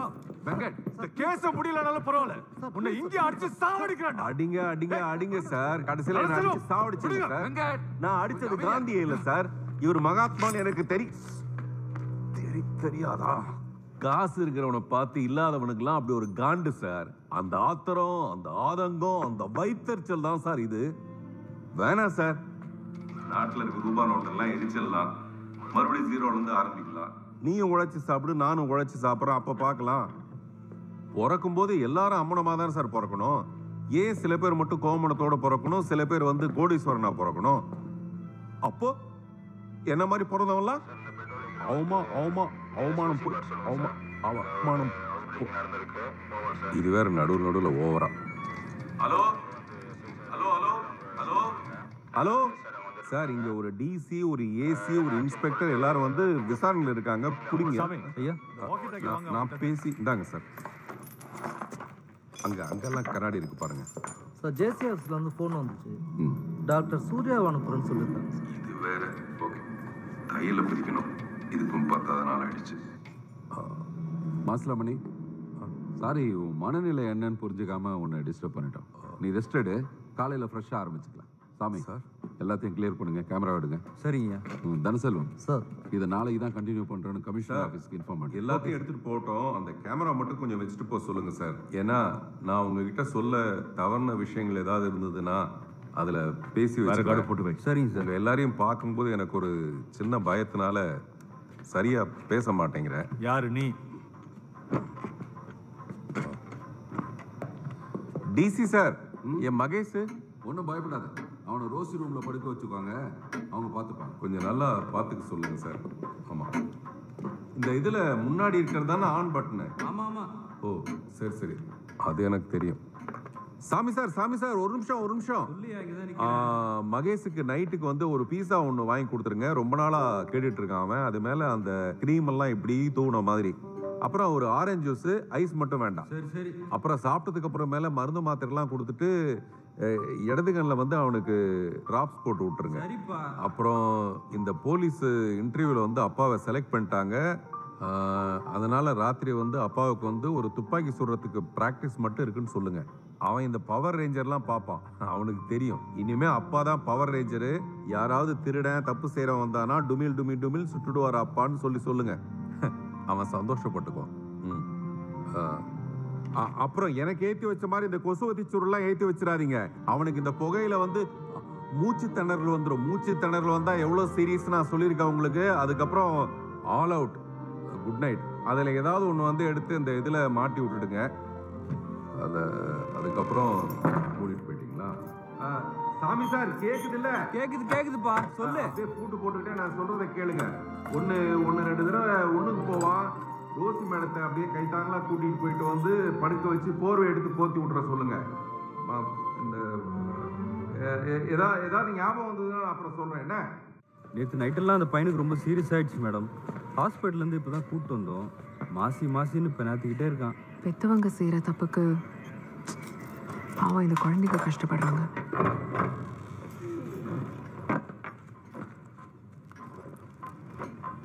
இந்த பொம்மை ஏதோ ரிப்பேர் ஆயிடுச்சுன்னு பையன் கிட்ட கொடுக்க சொன்னா அதை இங்கே வைக்கிறேன். ஆ. மசிலாமணி ஆமா அங்க என்ன பண்றீங்க? ஓ நான் வந்து டாக்டர் சூர்யா வராங்கன்ன உடனே யாரோ ஜென்ஸ் டாக்டர் தான் வராங்க போல இருக்குன்னு பார்த்தேன். கடைசியில் பார்த்தா ஒரு சைக்கியாலஜிஸ்ட் நீங்கள் வருவீங்கன்னு எனக்கு தெரியாதுங்க. ஓ நான் ஒரு சைக்காலஜிஸ்ட்னு நீங்க எப்படி கண்டுபிடிச்சீங்க? ஐயோ நான் உங்களை பார்த்துருக்கேங்க. பேசி கூட இருக்கேங்க. பேசியிருக்கீங்களா? ஆமாங்க. சன் டிவியில் டாக்டர் ஷோவில் நீங்கள் வருவீங்கல்ல. ஆமா. அப்போ ராயபுரம் ரமேஷுங்கிற பேரில் நான் தாங்க உங்ககிட்ட பேசியிருக்கேன். எந்த ப்ராப்ளத்தை பத்தி? தூக்கமே இல்லைங்க டாக்டர். எவ்வளோ நாளா? அது ரொம்ப வருஷமா. இப்போ பத்து பதினோரு நாளா தூக்கமே இல்லைங்க. ஆமா ராத்திரி ஃபுல்லா தூங்காம என்ன பண்ணிட்டு இருப்பீங்க? முழிச்சுக்கிட்டு இருப்பேன். நல்லா ஜோக் அடிக்கிறீங்க. அப்ப சிரிக்கணும்ல. என் மகேஷ் எப்படி சிரிப்பான் தெரியுங்களா? அவனுக்காக தான் ஜோக்கெல்லாம் கத்துக்கிட்டேன் நான். உறவுங்க இத்து போறதுக்கு பதிலா அத்து போறதே மேலு. இருக்கும்போதே செத்து போற உறவுகளும் உண்டு. செத்ததுக்கு அப்புறமும் இன்னும் புதைக்காம மனசுக்குள்ளேயே சுமந்துட்டு இருக்க உறவுகளும் உண்டு. அப்படி அப்படி இருக்கும்போது நம்ம சிரிக்காம அப்ப என்ன பண்றது? அஹ், எப்போல இருந்து இப்படி தொடர்பு இல்லாம பேசுறீங்க? எப்போலேருந்து தொடர்பு வந்ததோ அப்போலேருந்து தான்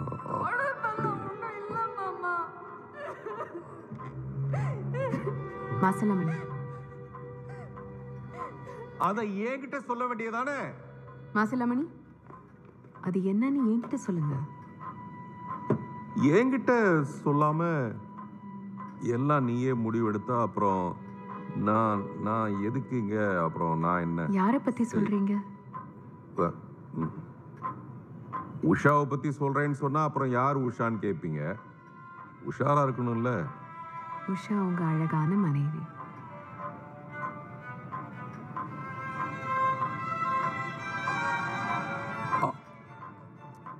அவ அழகுன்னு தெரியுமா உங்களுக்கு? ம் அவங்க இளையராஜா பைத்தியங்கிறது உட்பட. நேற்று இங்கே எடுத்த வீடியோ முழுக்க பார்த்துட்டு தான் வரேன். ஓ முழுக்க புரிஞ்சுக்கிட்டீங்களா? இல்லை பாதி தான். மீதி உங்களோட பேசும்போது தான். பேசி கண்டுபிடிக்க சொன்னாங்களா? நான் உண்மைதான் பேசுறேன்னான்னு நான். உண்மை கண்டறியும் கருவி இல்லை. உங்கள் மனசை புரிஞ்சுக்கிட்டு உங்களுக்கு ஹெல்ப் பண்ண தான் வந்தேன். இவர் யார் உங்க பெரிய டாக்டரா இல்லை அவர் பேரும் Mozart world famous music composer தானே நானே நானே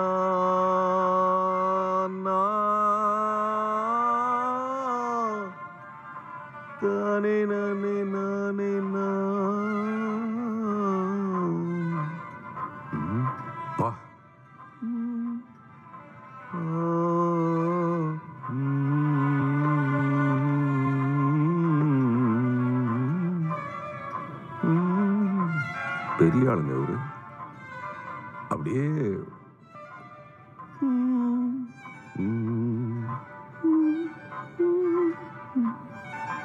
இதை நீங்க ம், நீங்க ஏதோ கேட்டுட்டு இருந்தீங்க.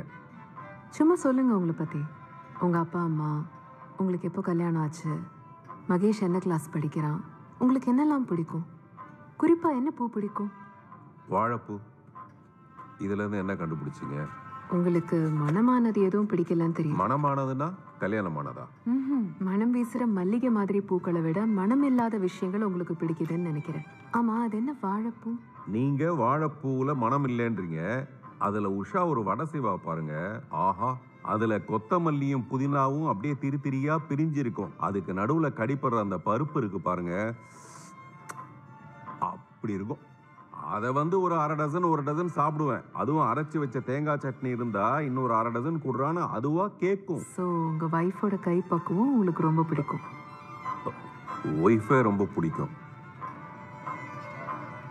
எனக்கே தெரியாது எவ்வளோ பிடிக்கும்னு. அப்போ அவளுக்கு மட்டும் எப்படி தெரியும்? அவங்க சமைக்கும்போது நீங்க ஒத்தாசை எல்லாம் பண்ணுவீங்களா? ஒத்தாசியா? ஒட்டுமொத்த ஆசி எனக்கு அவ மேல தானே அவ இந்த கடாயை வச்சு எண்ணெய் காயிற வரைக்கும் அந்த வாழைப்பூவை மாவு எடுத்து வடையாக தட்டி தட்டி தட்டி தட்டி தட்டி வைப்பான் நான் என்ன பண்ணுவேன்னா பின்பக்கமாக போய் அவன் முதுவோடு அப்படியே உரசிக்கிட்டு இந்த வாழைப்பூவில் இருக்கிற இலையெல்லாம் இருக்குல்ல அதையெல்லாம் அப்படியே அழகாக பிரித்து பிரித்து பிரித்து அப்படியே ஒரு பொக்கே மாதிரி செஞ்சு வச்சுக்குவேன். அவள் இந்த நெருப்புக்கு முன்னாடி இருக்கிறதுனால அவளுக்கு அப்படியே பூ பூவாக வேர்த்து போயிருக்கும். இங்கே இங்கே இங்கே எல்லாம் அப்படியே வேர்த்து போயிருக்கும். நான் என்ன பண்ணுவேன்னா இந்த பொக்கே இருக்குல்ல அதை எடுத்து எங்கெல்லாம் வேர்த்துருக்கோ அங்கெல்லாம் அப்படியே தொட்டு தொட்டு தொட்டு எடுக்கும்போது அவளுக்கு இந்த இது கிச்சு கிச்சு மூட்டுற மாதிரி இருக்கும். ஏய் அப்படியே கூச்சல் தாங்காம கூச்சல் போடுவான் நாங்கள் கீழே விழுந்து புரண்டதில்ல. ஆமாம் செட்டுலாம் நாசமாயிடும். அதுக்கப்புறம் வழியா அந்த மாதிரி ஓட்டு வீட்டில் வந்து கிச்சன் தனியாக பெட்ரூம் தனியாக இருக்காதுல்ல. அப்புறம் அப்படி அவ ஓடி போய் பாப்பா வடையெல்லாம் அப்படியே கருகி போய் கிடக்கும். அங்கேருந்து அப்படியே ஒரு பொய்க்கோவத்தோடு அப்படியே என்னை பார்த்து ஒரு சிரிப்பு சிரிப்பா பாருங்க.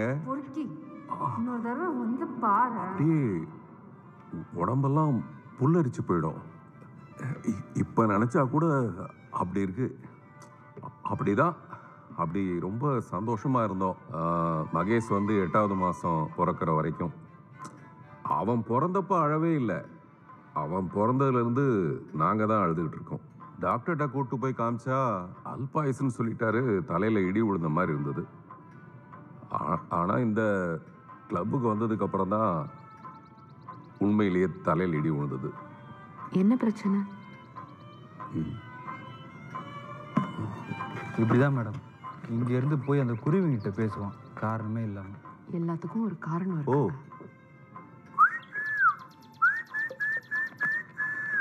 என் மகேஷ் கூட இப்படிதான். கீச்சு கீச்சுன்னு பேசுவான் ஆனா மரியாதையே இல்லாம பேசுவான். மாசி மாசின்னு. மசலாமணி அந்த கிளப்ல அப்படி என்னதான் பிரச்சனை? எங்க ரெண்டு பேருக்கு நடுவுல ரூபா வந்ததுனால தான் பிரச்சனையே வந்தது. ரூபா யாருன்னு கேட்க மாட்டீங்களா அது ஒரு தகாத உறவு. ஐயோ ஐயோ விடுங்க விடுங்க விடுங்க. இருங்க இருங்க சாமி நானே பாத்துக்கிறேன் எப்போ அந்த தகாத உறவு பின்னாடி போனாலோ அப்பதான் எல்லாமே தப்பு தப்பா நடந்தது. அது போட்டோம் ரூபா தகாத உறவு. என்ன நடந்திருக்கும்? சொல்லுங்க பார்க்கலாம். நீங்க தான் ஒரு சைக்கலாஜிஸ்ட் இல்ல? நான் சைக்காலஜிஸ்ட் ஸ்ட்ரைக்கலாஜிஸ்ட் சைக்காலஜிஸ்ட் ஸ்ட்ரை ஸ்லைட்டாலஜிஸ்ட் இல்ல. சைக்காலஜிஸ்ட் இப்போ கரெக்டா ஹலோ அது நான் சொன்னதுங்க. உங்களை யார் சொல்ல சொன்னா நடுவுல? இப்போ பாருங்க நான் கரெக்டா சொல்றேன் பாருங்க. சைக்காலஜிஸ்ட் சைக்காலஜிஸ்ட் இப்போ பாருங்க நீங்களே தப்பா சொல்ல ஆரம்பிச்சிட்டீங்க. என்ன Masilamani joke அடிக்கிறாரா? He such a nice person wife மேலேயும் குழந்தை மேலேயும் இவ்வளோ அன்பா இருக்கிறவங்கள நானே சார், பார்த்ததில்ல. இந்த குவாரி ஓனரை ரிலீஸ் பண்ண சொல்லி மேல இருந்து ப்ரெஷர் வந்துட்டே நாம கஷ்டப்பட்டு ஒருத்தனை அரெஸ்ட் பண்ணுவோம். மேல் இடத்துல இருந்து ப்ரெஷர் கொடுத்து அவனை ரிலீஸ் பண்ண சொல்லுவாங்க. நாமளும் உடனே அவனை ரிலீஸ் பண்ணிடணும். அப்புறம் எதுக்காக நாம அரெஸ்ட் பண்ணோம்? ச்சே இவ்வளவு கேவலமான வேலை செய்யறதுக்கா இந்த யூனிஃபார்ம்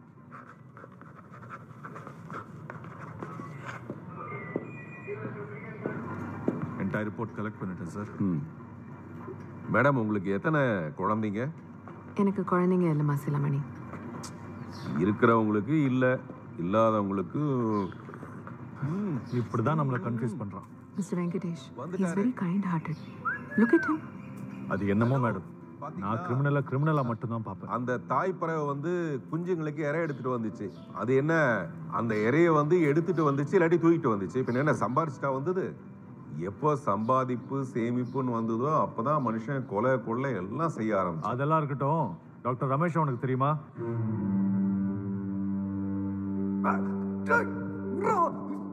எவ்வளவு பணம் தரேன்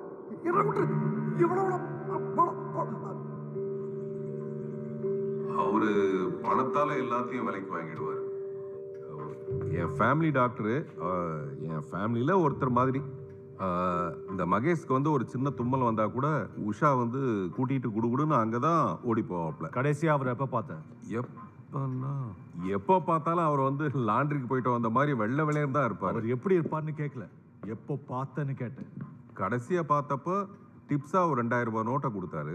அதை தான் நான் கொண்டு போய் உஷா கிட்ட நீட்டி அது ஒரு மாதிரி அப்படி கசமுசாவாகி இது நான் பணம் அப்புறம் நான் இந்த இது கூட காந்தி போட்டோ கூட போட்டு உடைச்சு ஐயா கிட்ட சொன்னேன் இல்லைங்களா? சார் என்ன சத்தம் அங்க? அதை பார்க்குறேன் சார். அது வேற ஒண்ணும் இல்லைங்கய்யா. அந்த பூனை வந்து ரொம்ப டார்ச்சர் பண்ணிட்டே இருந்ததா அந்த குருவி கூட்டை அதான் நானே கப்புன்னு அந்த இது மேல ஏறிட்டு இருந்தது பாத்ரூம் வழியா. அப்படியே பிடிச்சி ட்ரம்முக்குள்ள போட்டு ஒரு குத்து குத்தி அந்த ட்ரம்மை ஓட்ட போட்டு வச்சுட்டேன். உயிரோட இருக்கணும் இல்ல அதுக்கப்புறம் நீ ரமேஷை பார்க்கவே இல்லை. ம்? ஓ நீங்க குறுக்கு விசாரணை பண்றீங்களா? நான் கூட நீங்க ஏதோ விசாரணை பண்றீங்கன்னு நினைச்சேன். அவங்க ஒய்ஃப் லண்டன்ல இருக்காங்க. இவரும் அங்கதான் போய் செட்டில் ஆயிருப்பாருன்னு அந்த கிளப்ல இருந்தவங்கலாம் பேசிட்டு இருந்தாங்க. அநேகமா அவரு லண்டனுக்கு தான் போயிருப்பாருன்னு நினைக்கிறேன். நீ எப்பயாவது போயிருக்கியா? எங்க? லண்டனுக்கா? பாண்டிச்சேரிக்கு. சார் லண்டனுக்கே போனது இல்லைன்னு சொல்றேன்னா எப்படி சார் பாண்டிச்சேரிக்கு போயிருப்பேன்? சாமி என்னங்க? அந்த கெட்டவனை ரிலீஸ் பண்ணிட்டீங்களா? நீங்க அப்படிதான் சார் செய்வீங்க. ஆனா பாவப்பட்ட அந்த குருவி கூட்டம் மட்டும் அப்படியே தொங்கல்ல விட்டுருவீங்க. இது உன் கையெழுத்தானே ஆமான்னு உண்மையை சொல்றதுக்கு கூட பயமா இருக்கு. அதை நீங்க நம்புவீங்களோ இல்லையோ? ஆகஸ்ட் பதிமூணாம் தேதி திங்கட்கிழமை பாண்டிச்சேரி கோட்டக்குப்பம் போலீஸ் ஸ்டேஷன் போயிருக்க கரெக்டா அது கரெக்ட் ஆனா கோட்டைக்குப்பங்கிறது பாண்டிச்சேரியே இல்ல தமிழ்நாடு. பாண்டிச்சேரி பார்டரு நீங்க பாண்டிச்சேரின்னு சொன்னதுக்கு அப்புறம் நானே கன்ஃபியூஸ் ஆயிட்டேன். என்னடா இது? நம்மளே போய் சொல்றோமோன்னு. டேய் எதுக்காக கோட்டக்குப்பம் ஸ்டேஷன் போனேன் இதுலயே எல்லாம் கிளியரா இது ஜெராக்ஸுங்கிறதுனால அவ்வளோ கிளியரா இல்ல. அதனால நானே கிளியரா சொல்றேங்க. மாசிலாமணி பெரிய புத்திசாலி மாதிரி நடிக்காது. ஆகஸ்ட் பதிமூணாம் தேதி பாண்டிச்சேரியில டாக்டர் கொல்லப்பட்டிருக்காரு. எது? டாக்டர் கொல்லப்பட்டாரா? என்ன சார் சொல்றீங்க? யார்? சும்மா டிராமா பண்ணிட்டு இருக்காத போறம்போக்கு சார் ஏசி சார் நீங்க நல்ல விதமா பேசுனா நானும் நல்ல விதமா பேசுவேன். இல்லனா இல்லைனாலும் பேசுவேன். மேடம் நீங்களா? நீங்க சிரிச்சது எனக்கு அந்த டேப்ல திறந்து விட்ட மாதிரியே இருந்தது. நேத்துல இருந்து அப்படிதான் மூடுறா. டாக்டரை நீ தான் கொலை பண்ணிருக்க. சார் உங்களுக்கு ஆள் கிடைக்கலன்னா எல்லாத்தையும் தூக்கி ஒரு ஆள் மேல போட்டுறதா? அதான் சார் உங்களை நேத்து நைட்டு வெளியில அமிச்சதே தப்பா போச்சு. வரும்போது ஒரு பெரிய ஆக்ஷன் பிளானோட வரீங்க. நீங்க கண்டுபிடிக்க முடியாத மதுரை கொலையே நான் தான் பண்ணேன்னு ஒத்துக்கிட்டப்போ இப்ப நீங்க கண்டுபிடிச்சதா சொல்ற இந்த கொலையை மட்டும் நான் எங்க இல்லைன்னு சொல்ல போறேன்? எங்களுக்கும் அதான் ரொம்ப குழப்பமா இருக்கு. குழப்பமா இருக்குல்ல? நான் பண்ணியிருப்பேன் நான். கண்டிப்பா நீ தான் பண்ணிருக்க அது எப்படி சார் அவ்வளோ கன்ஃபார்மா சொல்றீங்க? மாசலாமணி நீ மதுரை வாசுவோட கொலையை ஒத்துக்கலைன்னா கூட எங்களுக்கு உன் மேல டவுட் வந்திருக்காது. ஏற்கனவே நீ பண்ண ரெண்டு கொலை மாதிரியே தான் இந்த கொலையும் நடந்திருக்கு. ஏர்லி மார்னிங் டாக்டர் ரமேஷோட கழுத்து மாஞ்சா நூலால அறுக்கப்பட்டிருக்கு. அவரோட ஆண் உறுப்பு கல்லால சிதைக்கப்பட்டிருக்கு. அது மட்டும் இல்லை நடந்த மூணு கொலையிலையும் தடயமா கிடைச்சிருக்கிறது அந்த ஏழாம் நம்பர் செருப்பு. தனசெல்வம் இவன் சைஸ் என்ன? பதினொன்று சார் ஓகே அது அப்புறம் விசாரிச்சுக்கலாம். ஒரே மாதிரி நடக்கிற குற்றங்களுக்கு எங்கள் டிபார்ட்மெண்ட்டில் எம்ஓன்னு ஒரு பேர்.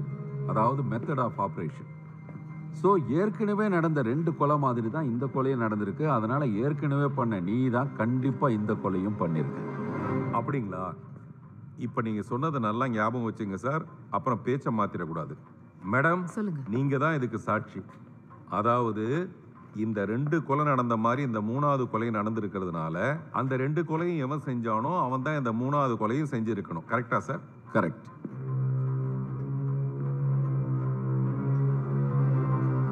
அந்த டாக்டரை நான் தான் ஏன் கொலை பண்ணேன். என்னடா இன்ஸ்டால்மெண்ட்ல சொல்லிட்டு இருக்க ஒரு கொலைன்னு ரெண்டு கொலைன்னு? இது நீ பண்ண மூணாவது கொலை இல்ல? இல்ல!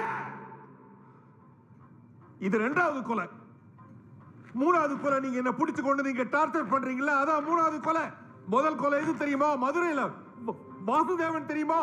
அவன் அவனை பண்ண. கொலை பண்ணது நானு கணக்கு சொல்றது நீங்களா?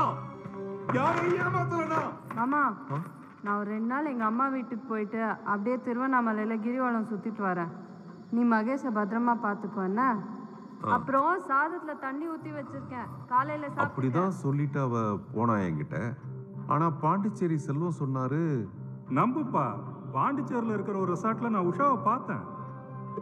நம்பாம ஆட்டோ டிரைவர் அமீனை கேட்டா நான் சத்தியமா நான் கோயம்பேடு பஸ் ஸ்டாண்ட்ல அக்காவை நான் தானே திருவண்ணாமலை பஸ் ஏற்றி விட்டேன். அப்ப எதை நான் நம்புறது? மாசிலாமணி முதல்ல நீங்க ஏதாவது சாப்பிடுங்க. என்னங்க டாக்டர் அமீன் யாருன்னு கேளுங்க. யார் அந்த அமீன்? முன்னூத்தி எழுபத்தாறு ரூபாய் வா இவ்வளோ விலையானதெல்லாம் நான் சாப்பிடக்கூடாது. மகேஷுக்கு வீட்டுக்கு போனதும் கொடுக்கணும்.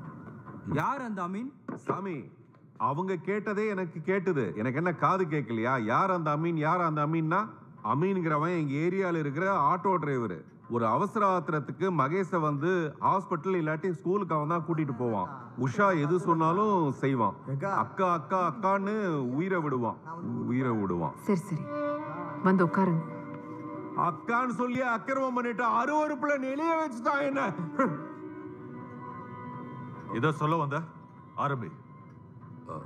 ஆரம்பி ஆரம்பி. தான் அந்த பாண்டிச்சேரியில் அந்த ரிசார்ட்டோட பேரு. அங்கே போய் காலங்காத்தால் அந்த காம்பவுண்ட் சோருக்கு பின்னால் மறைஞ்சி அப்படியே காத்துக்கிட்டு இருக்கு. கா- கா- Dhanaselvam sir. Sir Dhanaselvam sir அதை ஆஃப் பண்ணுங்க சார். அப்படி உள்ளதான். ஃபுல்லா சத்தம் கேட்டுட்டு இருக்குல்ல அப்புறம் இது வேற. ஆ. பார்த்தா கார் வந்துகிட்டே இருக்கு. அங்க பார்த்தா சென்னைக்கு போற ஒரு பஸ் போய்கிட்டு இருக்கு கார் வந்துகிட்டு இருக்கு அந்த ஏரியால எங்கேயும் இந்த சிசிடிவி கேமரா இல்லைங்கிறத கன் கரெக்டா எனக்கு முன்னாடியே வந்து நிக்குது. வந்து அவன் இறங்குறான். இறங்கி அவர் அப்படியே ப்ளூடூத்ல பேசுறாரு. சொல்லு Usha. You don't worry you don't worry plan plan பின்னு ஒரு மாத்திரை இருக்கு. அதை என் கிளினிக்ல கேட்டு வாங்கி நீ சாப்பிட்டீங்கன்னா எல்லாம் ஒண்ணும் பயப்படுறதுக்கே ஒண்ணுமே கிடையாது. யா டாக்டர் நானே சொல்றேன் இல்லையா? டாக்டர் செய்யற வேலையாடாது அவன் ஏதோ எடுக்கிறதுக்காக டிக்கிய திறந்தான். குனிஞ்சு தேடிக்கிட்டே இருந்தான். அப்பதான் அந்த மாஞ்சா நூலை எடுத்தேன். அப்படியே இழுத்து கட்டின எவ்வளவு நாள் பணம் கொடுக்குறேன்? என்ன விட்டுடு. என்ன விட்டுடு. எவ்வளவு நாளும் பணம் கொடுக்குறேன்? பணம் கொடுக்குறேன். போன பணம் இருந்தா பிளான் பி சி டி இது என்னோட பிளான் அப்படியே கீழே விழுந்தான். அவ்வளவுதான். இடம் போட வேண்டிய இடத்துல கல்ல தூக்கி போட்ட நசுங்கி அவனும் செத்தான். ஷோல்டர் பேக்ல இருந்து செருப்பை மறக்காம எடுத்து அங்க போட்டேன். அப்படியே இருட்டில் நடந்து வந்தேன். மகேஷை விட்டுட்டு வந்திருந்ததுனால நேராக செல்வம் வீட்டுக்கு போனேன். அங்கே போய் பார்த்தா குழந்தைய காணும். மகேஷ் மகேஷ்னு கேட்டால் செல்வம் சொல்கிறாரு உன்னை காணணுன்னு அவன் வெளியில் போய் தேட போனான்ப்பா. எங்கே போனான்னு தெரில அப்படின்னு. அவன் காணணும்னு அவ்வளோதான் நான் எங்கே இருக்கேனே எனக்கு தெரியல. இப்போ எல்லாம் வெளிச்சமாக இருக்கு? ஆனால் எனக்கு ஒன்றுமே தெரியல.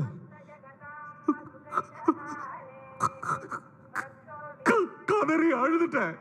பெரிய பையனை விட காரணம் அப்போதான் அந்த நாயர் சொல்றாரு அந்த கோட்டை குப்பம் ஸ்டேஷன்லன்னு. அப்படியே குடுகுடுன்னு ஓடி போய் பார்த்தா குழந்தை அழுதுகிட்டு இருக்கான். அந்த ஸ்டேஷன்ல போட்டு கொடுத்த கையெழுத்து தான் இப்போ உங்ககிட்ட இருக்கு. மாசி மாசி. மாசி வந்துட்டேன்ல. அன்னைக்கு மட்டும் அவன் காணாம போயிருந்தான்னு வச்சுங்களேன். உங்களுக்கெல்லாம் இந்த கஷ்டமே இருந்திருக்காது. அன்னைக்கே நானும் போய் சேர்ந்திருப்பேன். சாமி சார் சொல்லு. மணி பதினோரு மணி ஆகுது. மகேஷ்க்கு வந்து ஒரு பலூடா ஒன்று வாங்கி கொடுங்க. அதில் ஐஸ்கிரீம் மட்டும் போட வேண்டாம் ஐஸ்கிரீம் ஐஸ்கிரீம் போட வேண்டாம் இரு இரு இரு. கால் கடி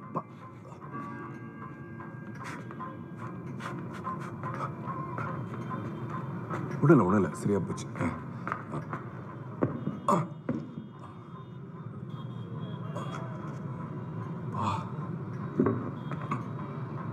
எல்லா புண்ணியமும் மகேஷோட உயிரை காப்பாற்றணும் என்ன மசாலா மணி அது?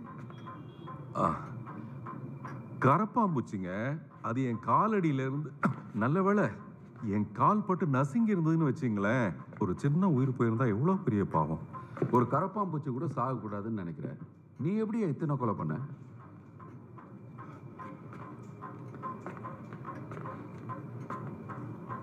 அது என்ன எனக்கு துரோகமா செஞ்சது?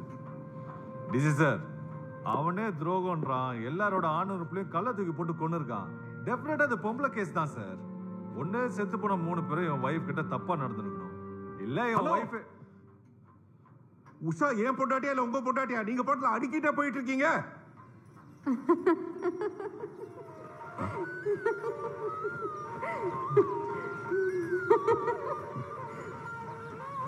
கிராமத்தில் இருக்கும்போது அவ எப்படி இருப்பா தெரியுமா? அவ்வளோ அடக்கமான பொண்ணை நான் இந்த கிளப்பு கூட்டு வந்திருக்கவே கூடாது. எட்டாயிரம் ரூபாய் சம்பளம் ஃப்ரீயாக அவுட் ஹவுஸ் கொடுக்குறாங்கன்றதுக்கு ஆசைப்பட்டு இந்த கிளப்பு கூட்டு வந்ததுனால தான் அவன் மனசு இந்த மாதிரி பிஞ்சு பிஞ்சு வீணாக போச்சு. உஷா அழகி உஷா ரொம்ப அழகி. ஆனால் இந்த கிளப்புக்கு ஒரு ஆளுங்க தெரியுங்களா? குந்தானிங்க அவளுங்க வந்து இந்த மலையிலிருந்து உருட்டி விட்ட ஈயச்சொம்பு மாதிரி மூஞ்சிய டொக்குன்னு வச்சுக்கிட்டு இங்கெல்லாம் ஃபுல்லா டைமண்ட் நெக்லஸ் அப்புறம் இந்த இது இது ஒரு இந்த மாதிரி ஒரு Dress அது. பேர் ட்ரெஸ் என்ன தான் பட் ஃப்ராக்னு ஃப்ராக் சொல்லுவாங்க. ஃப்ராக் தானே? ஆ அந்த மாதிரி ஒன்று போட்டு வருவாளுங்க. இவ அப்படியே பராக் பார்த்துக்கிட்டே இருப்பா. அந்த துணிமணிலாம் துவைக்க போடுறாங்களா? அது வந்து அந்த துணி காஞ்சதுக்கு அப்புறம் இவ ஏற்கனவே காஞ்சி போயிருக்கிறாளா? அதுல ஒரு ஃப்ராக் எடுத்து போட்டு வந்துட்டு நான் உள்ள கதவை திறந்துட்டு வருவேன் இல்ல? அப்படியே நின்றுக்கிட்டு மாமா எப்படி இருக்கு? அப்படி இருக்கு. அவ்வளவுதான். அப்படியே சாச்சி. அப்புறம் எப்பவும் போல அதுக்கப்புறம் என்னோட ஒட்டி ஒரு கழிச்சு வந்து படுத்துக்கிட்டு ஏன் மாமா? சாமி நம்மளை மட்டும் இப்படி ஏழையா பிறக்க வச்சது. அவனுக்கு போட நகை நட்டெல்லாம் எனக்கு போட்டா எப்படி இருக்கும்? என்னடி பண்றது? இந்த ஜென்மத்துல கடவுள் நம்மளை இப்படி சோதிச்சிட்டான். அடுத்த அடுத்த ஜென்மத்துல ஜென்மத்துல எல்லாம் எனக்கு நம்பிக்கை இல்லை மாமா. இந்த ஜென்மத்திலேயே வாழ்ந்து பார்த்துடணும்.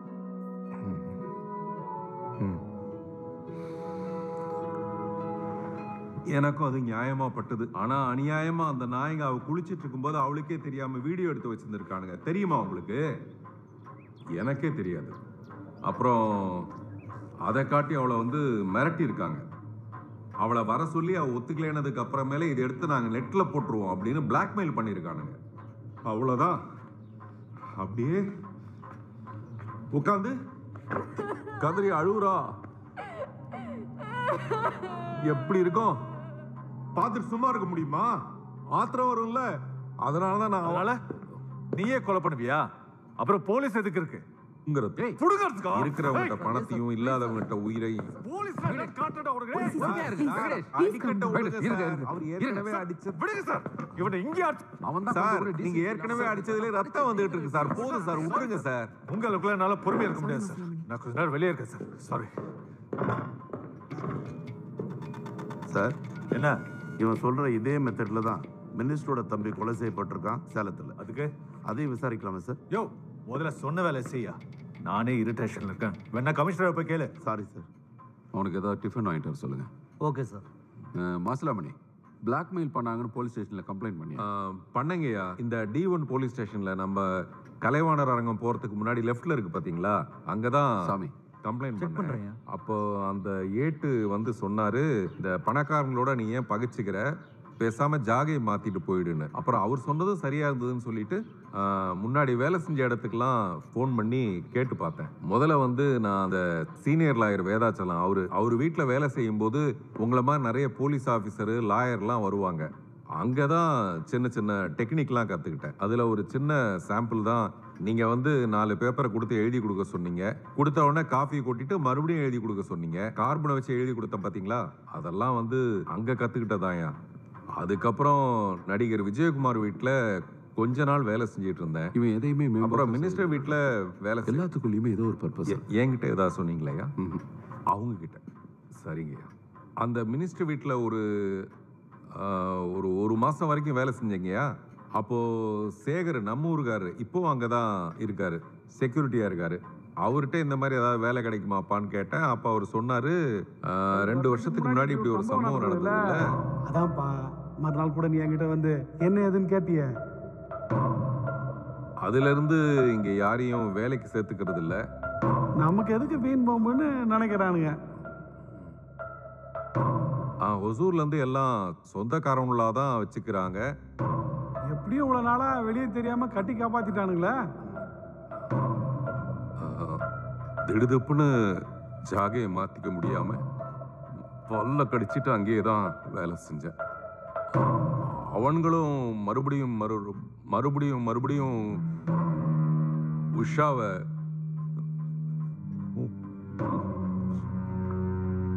அதனாலதான் அந்த மூணு பேரையும் துடிக்க துடிக்க கொலை பண்ண பாத்தீங்களா? இன்னும் இந்த கையில அப்படியே இருக்கு ரத்தம் பாருங்க. தொடச்சி தொடச்சி பார்த்துட்டு போக மாட்டேங்குது. புரியுது மாசிலாமணி. நீங்கள் எல்லாமே உங்கள் ஒய்ஃப்காக தான் பண்ணியிருக்கீங்க. வார்த்தைக்கு வார்த்தை உஷா உஷான்னு சொல்லிட்டு இருக்கீங்களே. இப்போ அந்த உஷா எங்கே இருக்காங்க? மாமா நான் எங்க இருக்கேன்னு கண்டுபிடி பார்க்கலாம். எங்க போனேன்னு மாசிலாமணி இப்போ உஷா எங்கே இருக்காங்கன்னு கேட்டேன். அவ காணாம போயிட்டா? காணாம போயிட்டாங்களா. எப்பையில இருந்து அது ஒரு பத்து பதினோரு நாள் இருக்கும். சாமி செக் பண்ணுறேன் தெரு தெருவா தேடிக்கிட்டு திருவண்ணாமலைக்கு போனேன். வந்தவாசியில தான் அவங்க அம்மா வீடு இருந்ததுனால ரெண்டு ஸ்டேஷன்லுமே கம்ப்ளைண்ட் பண்ணேன். எஃப்ஐஆர் ஃபைல் பண்ணிருக்கு சார் பாத்தீங்களா? சாமி சார் இது வரைக்கும் எப்படியோ எனக்கு தெரியாது. ஆனா இனிமே நான் பேசுறதெல்லாம் உண்மைதான் பேச போறேன். அதை ஒவ்வொரு தடையும் நீங்க செக் பண்ணிட்டே இருந்தீங்கன்னு வச்சுங்களேன். அப்புறம் நீங்க டயர்ட் ஆக மாட்டீங்க. ரிட்டையர்ட் ஆயிடுவீங்க. மாசிலாமணி உன் ஒய்ஃபுக்கு என்ன வயசு இருக்கும்? முப்பத்தி ரெண்டுன்னு யாரும் சொல்ல மாட்டாங்க. தனசெல்வம். Okay sir.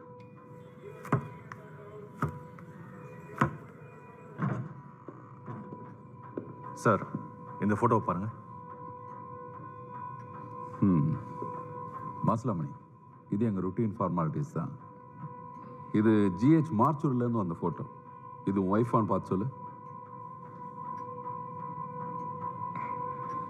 நிமிர்ந்து பார்த்து சொல்லு.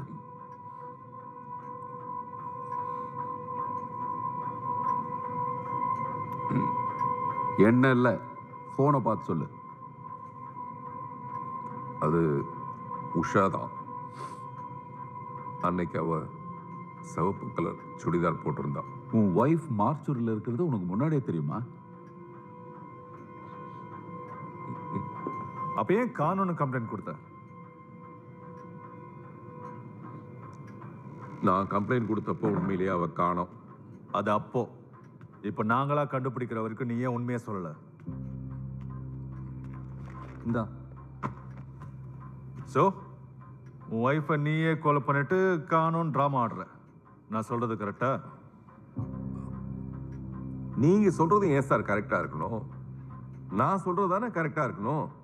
என் ஒய்ஃபை இவனே பிளான் பண்ணி மர்டர் பண்ணிட்டு சும்மா ஆக்சிடென்ட் மாதிரி கிரியேட் பண்ணியிருக்கான் சார் ஆமா நான் தான்.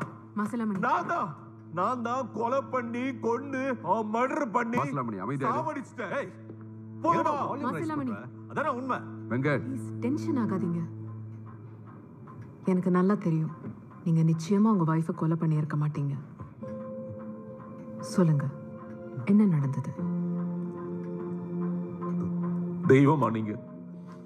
இவங்கெல்லாம் பேசும்போது வாயை மட்டுமே கவனிக்கிறாங்க. ஆனா நீங்க தான் கண்ணு வழியா உள்ள போய் மனசுல என்னன்னு பாக்குறீங்க. இந்த மனசை புரிஞ்சுக்கிற வித்தை மட்டும் எனக்கு தெரிஞ்சிருந்ததுன்னா உஷாவோட மனசுக்குள்ள இதா இருக்குன்னு தெரிஞ்சுக்கிட்டு நான் குழந்தைய தூக்கிட்டு எங்கேயாவது போய் இந்த மாதிரி. இப்போ பராண்டால என் பிள்ளைய போட்டு நான் இங்க வந்து அவசரப்பட வேண்டிய அவசியம் எல்லாம் இல்ல இல்ல. கொலை பண்ணிட்டாங்களாம். உஷா வேணா உஷாங்கிறது மகேஷுக்கு அம்மா அம்மா தாயை யாராவது கொலை பண்ணுவாங்களா? லத்தி துப்பாக்கி எல்லாம் தூக்கிட்டு வந்துட்டானுங்க. ஏதோ பக்கத்துல இருந்து பார்த்த பாரு இப்போ லத்தி விட்டு சொருவ போறேன் பாரு. மாசிலாமணி உங்களுக்கு நல்லது நடக்கணும்னு தான் இதை சொல்றேன். என்ன நடந்துச்சுன்னு உண்மையை மட்டும் சொல்லுங்க ப்ளீஸ்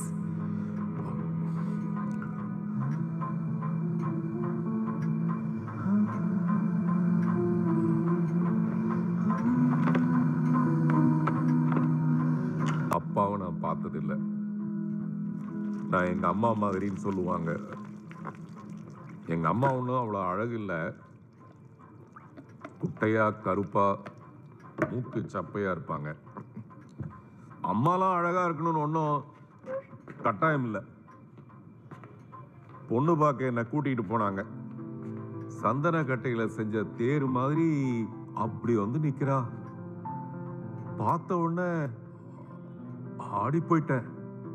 அவளை பார்த்து நான் சரின்னு சொன்னது பெரிய விஷயம் இல்லை. அவ என்னை பார்த்து சரின்னு சொன்னார்ல. அதுதான் விதியோட சதி.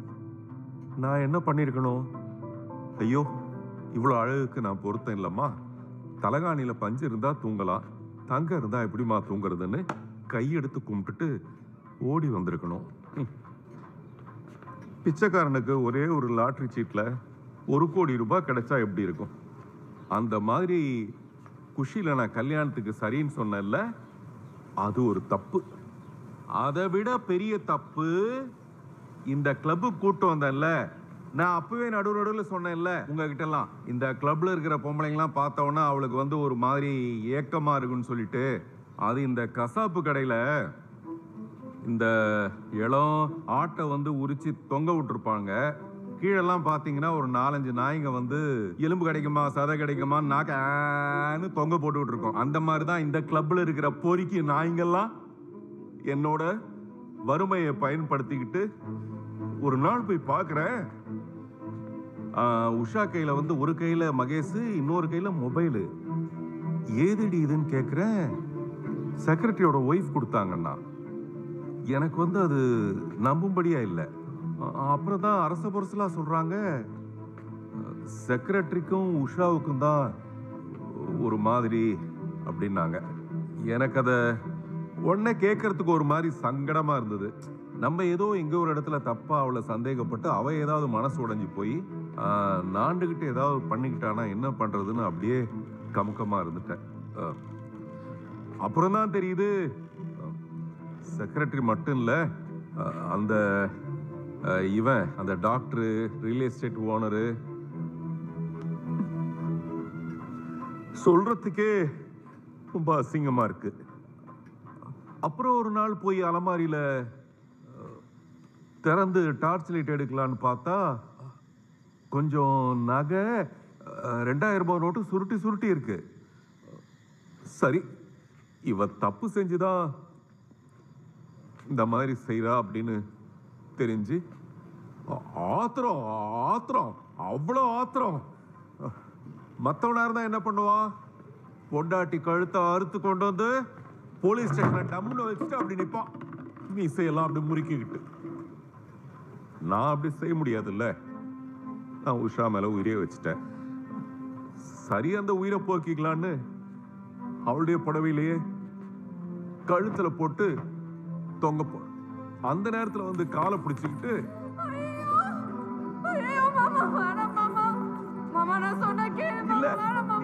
இல்லடி இல்லடி இல்லடி. நான் நான் இல்லடி. நான் போறேன்டி நான் போறேன்டி. நீ வந்து மகேஷ மட்டும் அதை காப்பாத்திடி? நான் பண்ணது நம்ம மகேஷுக்காக தான் மாமா. அவன் வைத்திய செலவுக்காக. அவனை எப்படியாவது வெளிநாட்டு கூட்டு போய் குணப்படுத்தணும்னு தான் நான் இப்படி பண்ணேன். நம்ம நிலைமைக்கு எனக்கு வேற வழி தெரியல மாமா. அவ மகேஷன் சொன்னதும் நான் ஒரு மாதிரி ஆயிட்டேன். என்ன பண்றது? அப்புறம் சொன்னேன் வேணாண்டி அருவருப்போட பயங்கர பேர்ல அவன் ஒரு நூறு வருஷம் வாழ்றதை விட நாம மான மரியாதையோட எவ்வளோ நாள் முடியுதோ அவ்வளோ நாள் அவனை காப்பாற்றுவோம் அவன் செத்து போயிட்டான்னா நாமளும் கூடவே செ- செத்து போயிடலாண்டின்னு சொன்னேன். அவளும் வந்து சரின்னு சமாதானம் ஆயிட்டா அப்புறம் வந்து பார்த்தா மறுபடியும் அது அதுவே தொடருதுன்னு எனக்கு தெரிஞ்சது. அப்புறம் என்ன அறியாம பொட்டு பொட்டு பொட்டு பொட்டுன்னு அடிச்சிட்டேன்.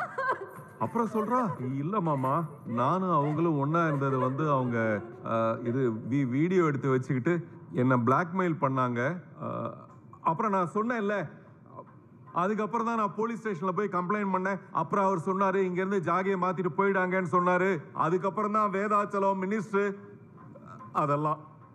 இந்த பணம் இருக்கிறவனும் அதிகாரம் உள்ளவனும் செய்யற தப்ப தண்டிக்கிறதுக்கு இங்க சட்டத்துல இடம் இல்லைன்னு தெரிஞ்சதுக்கு அப்புறம் தான் காரா,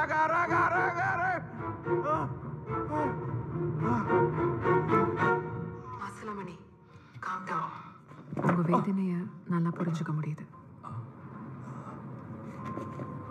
காணாத. என்னது? இந்த பிசிசி கிளப்ல அந்த மோட்டர் ரூமுக்கு அடியில் தான் வச்சுருந்தேன்.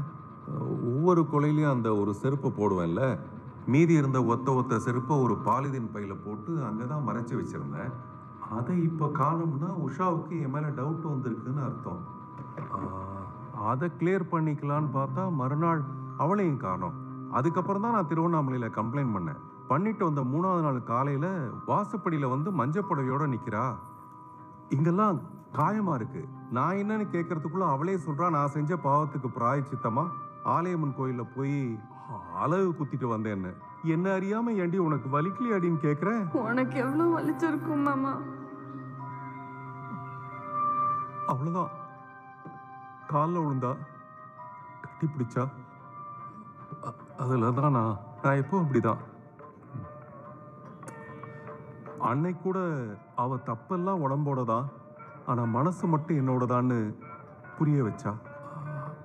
அப்புறம் சாயங்காலம் பார்த்தா எழுந்திரிச்சு தலை நிறைய மல்லிகை போலாம் வச்சுக்கிட்டு மாமா பீச்சுக்கு போலாமான்னு கேட்குறா நான் பதில் சொல்றதுக்குள்ள இந்த பையன் காத்தடியோட நிற்கிறான் வாமாசி வாமாசி போலாம் மாசி போலாம் வாமாசின்றான் அப்புறம் இனிமையாவது வாழ்க்கை நிம்மதியா இருக்கணும்னு வேண்டிக்கிட்டு அவங்களோட பீச்சுக்கு போனேன். திரும்பி பார்த்தா இந்த பையன் அவனுக்கு அவனுக்கு ஒரு சின்ன கேங் கிடைச்சது அவங்களோட போயிட்டான். இவ வந்து அவளோட துப்பட்டாவை எடுத்து என்னோட கண்ணில் கட்டி விட்டுட்டு ஒரு ராட்டின மாதிரி ஒரு சுத்து சுத்தி விட்டுட்டு மாமா நான் எங்க இருக்கேன்னு கண்டுபிடி பார்க்கலாம். கண்டுபிடிக்கன்றா. இந்த கண்ணை கட்டிக்கிட்டு பீச்சுக்கு போய் விளையாடுறதெல்லாம் ரொம்ப சின்ன பசங்க தனமா இருந்தது. ஆனா அது ஒரு மாதிரி ஜாலியாக தான் இருந்தது. அவள் அந்த கட்டி விட்டது வந்து நைலான் துணி போல இருக்கு. அது ஒரு பக்கமாக இறங்கி போச்சு. மெதுவாக அந்த கேப்பில் பார்க்குறேன் அவ யாருக்கோ சைகை காமிச்சிட்டு இருக்கா. பின்னாடி திரும்பி பார்த்தா அந்த ஆட்டோ டிரைவர் பின்னாடி இருந்த ஒரு கட்டை எடுக்கிறான். நான் இவளை பார்த்துட்டு திரும்பி பார்த்து சுதாரிக்கிறதுக்குள்ள நான் கூட என்னமோ நினச்சேன். உண்மையிலேயே ரொம்ப பெயின் அனுபவிச்சிருக்கான். மறுபடியும் ஏந்திரிக்கிற? விட்டா. என்ன சாவடிச்சிடுவான் போல இருக்குன்னு சுத்த மாதிரியே நடிச்சேன். அக்கா சித்திரம் போல இருக்கா? சீர் கைட்டு கொடுக்கா. எனக்கு பயமா இருக்கு எல்லாம் நகை மாடா பாக்குறேன் நான் நைட்டு வந்து குத்துற அந்த போறேன் ஆட்டோ டிரைவர்கிட்ட கையில இருக்கிற வளையல் கழுத்து இருக்க செயின் எல்லாம் கழட்டி கொடுத்துட்டு ஐயோ என் புருஷன் யாரோ அடிக்கிறாங்களே ஐயோ என் புருஷன் யாரோ அடிக்கிறாங்களே கழுத்து இருக்க நகையெல்லாம் எடுத்துட்டு போறாங்களேன்னு கத்துறா எனக்கு பேச்சே வரல. மகேஷுக்காக பண்ணேன். பிளாக்மெயில் பண்ணாங்க. எல்லாம் பொய்யா? அவ என்ன? எனக்கு பண்ண துரோகத்தெல்லாம் கூட மன்னிச்சிட்டேன். ஆனா ஆளை வச்சு தீர்த்து கட்டு மட்டும் நினைக்கவே இல்லை. அந்த ஆத்திரத்தோட அந்த திருட்டு தருதலை போய் ஆட்டோ டிரைவரை விரட்டலான்னு ஓடுறேன். இவளை பார்த்தா இவன் இந்த பக்கம் எதிர்பக்கத்துல ஓடுறா அவனை விட்டு அவ பின்னாடி ஓடுறேன் அவ திரும்பி பார்த்து திரும்பி பார்த்து ரோட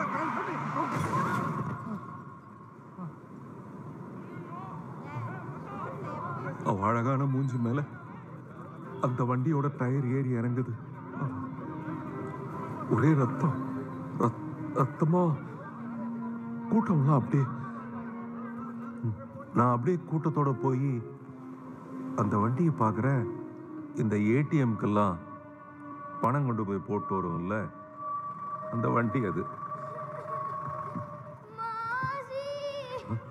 பதறி ஓடுறேன். பார்த்தா எனக்கு பதிலா மகேஷ் அழுதுட்டு நிக்கிறான். என்னடான்னு கேக்குறேன் காத்தாடி எடுத்து காட்டுறான். கிழிச்சு போச்சான்.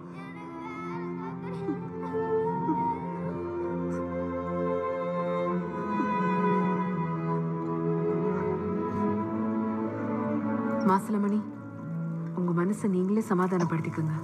இந்த விசாரணை எல்லாம் அப்புறம் கூட வச்சுக்கலாம். முதல்ல உங்க ஒய்ஃப்க்கு ஆக வேண்டிய காரியத்தை பாருங்க. ம். இன்னைக்கு பத்து. நியாயமா அவளுக்கு காரியம் பண்ணியிருக்கணும் என்னைக்கு அவ ஆளை வச்சு என்ன கொலை பண்றதுக்கு முடிவு பண்ணாலோ அன்னைக்கே அவ செத்துட்டான மனசுக்குள்ளே எரிச்சு ஈம சடங்கே பண்ணிட்டேன். இன்னைக்கு தான்ப்பா லாஸ்ட் டேட்டு வாங்கலைன்னா அப்புறம் புதைச்சிடுவாங்க. என் மகேஷ்க்கு வந்து அம்மா இல்லைன்னு தெரியக்கூடாது. மற்றபடி உங்க ஃபார்மாலிட்டிஸ் என்ன உண்டோ அதை பண்ணிடுங்க. மாசிலாமணி ஆயிரம் தான் இருந்தாலும் அது உன் ஒய்ஃப் இல்லையா? அஹ், ஆயிரமா இருந்தது தான் பிரச்சனை. லட்ச லட்சமா இருந்திருந்தா அவ எனக்கு ஒய்ஃபாவே இருந்திருப்பா. உன் ஒய்ஃப் தப்பானவன்னு முதலே சொல்லிருக்கலாம்ல. நான் கண்டுபிடிச்சப்போ வெளியில சொல்ல முடியல. ஆனா நீங்க என்ன பிடிச்சப்போ சொல்லாம இருக்க முடியல. உள்ளுக்குள்ள எவ்வளவு அசிங்கம் இருந்தாலும் புருஷனோ பொண்டாட்டி அது அவ்வளவு சீக்கிரம் வெளியில சொல்ல மாட்டாங்க. டிசி சார் நான் கிளம்புறேன். உங்க ஒப்பீனியன்? என்னோட ஒப்பீனியன் உங்களுக்கு எந்த அளவுக்கு அக்செப்டபிளாக இருக்கும்னு எனக்கு தெரியல. பரவாயில்ல சொல்லுங்க. தாய்மைங்கிறது பெண்பால் மட்டும் சம்மந்தப்பட்டதில்லை. அது அன்பால் மட்டுமே சாதிக்கக்கூடியது. நீங்கள் மசிலாமணி கொடுக்க போகிற தண்டனை இன்னும் அஞ்சாறு வருஷம் மட்டுமே வாழ போகிற அந்த குழந்தைக்கு கொடுக்குற தண்டனையாக இருக்கக்கூடாதுன்னு நினைக்கிறேன் சார் அது மட்டும் இல்லாமல் ட்ரீட்மெண்ட் கொடுக்குற அளவுக்கு மாசிலாமணி ஒன்றும் பேஷண்ட் இல்லை. It just need some psychological counselling மற்றபடி டீட்டெயில் ரிப்போர்ட்ஸ் நான் உங்களுக்கு அனுப்பி வைக்கிறேன். Thank you doctor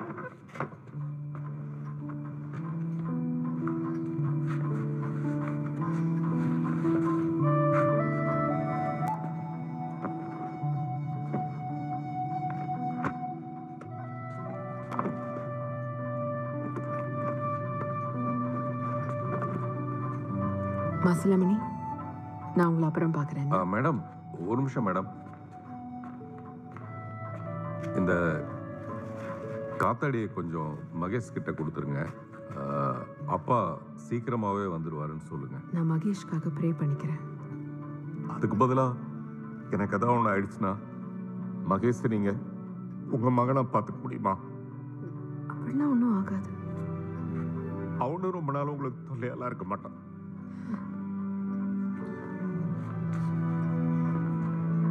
Mahesh? அப்பா கொடுக்க சொன்னாரு. மாசி எப்போ வரும்? வந்துருவாரு. எப்போதான் வருமோ. டிசி ஐயா உங்களுக்கு அந்த கூலிங் கிளாஸ் ரொம்ப நல்லா இருக்கு. திலகா மேடத்துக்கிட்ட சொல்லி உங்களுக்கு லஞ்ச் அனுப்பும்போது எனக்கு கொஞ்சம் அனுப்ப சொல்லுங்க. உஷாவோட சேர்ந்து நாக்கும் சேர்த்து போச்சு. இனிமே எதுக்குப்பா லஞ்சு அதான் எல்லாமே முடிஞ்சு போச்சு. மாசிலா மணிக்கு சாப்பிட ஏதாவது வாங்கி கொடுங்க. அஹ், தனசெல்வம். சார் ஃபர்தர் ஃபார்மாலிட்டிஸ் எல்லாத்தையும் நீங்கள் பார்த்துங்க. அப்புறம் அந்த பையனை பர்சனல் கேர் எடுத்து ஒரு நல்ல ஹோமில் சேர்க்க பாருங்க. சரிங்க சாமி வேற ஒன்றும் இல்லையே? ஐயா அந்த செருப்பு மேட்ரு ஆமாம் ஐயா. நானும் கேட்க மறந்துட்டேன். அது என்ன உன் சைஸ் இல்லாத ஏழாம் நம்பர் ஒத்த செருப்பையே ஒரே மாதிரி மூணு கொடையிலையும் தடையமா விட்டு போயிருக்க? மூணு இல்லைங்க ஐயா. நான் செஞ்ச நாலு கொலையிலையும். நாலா? அதான் உன் ஒய்ஃப் மர்டர் நீ பண்ணலையே. ஆக்சிடென்ட் தானே அது?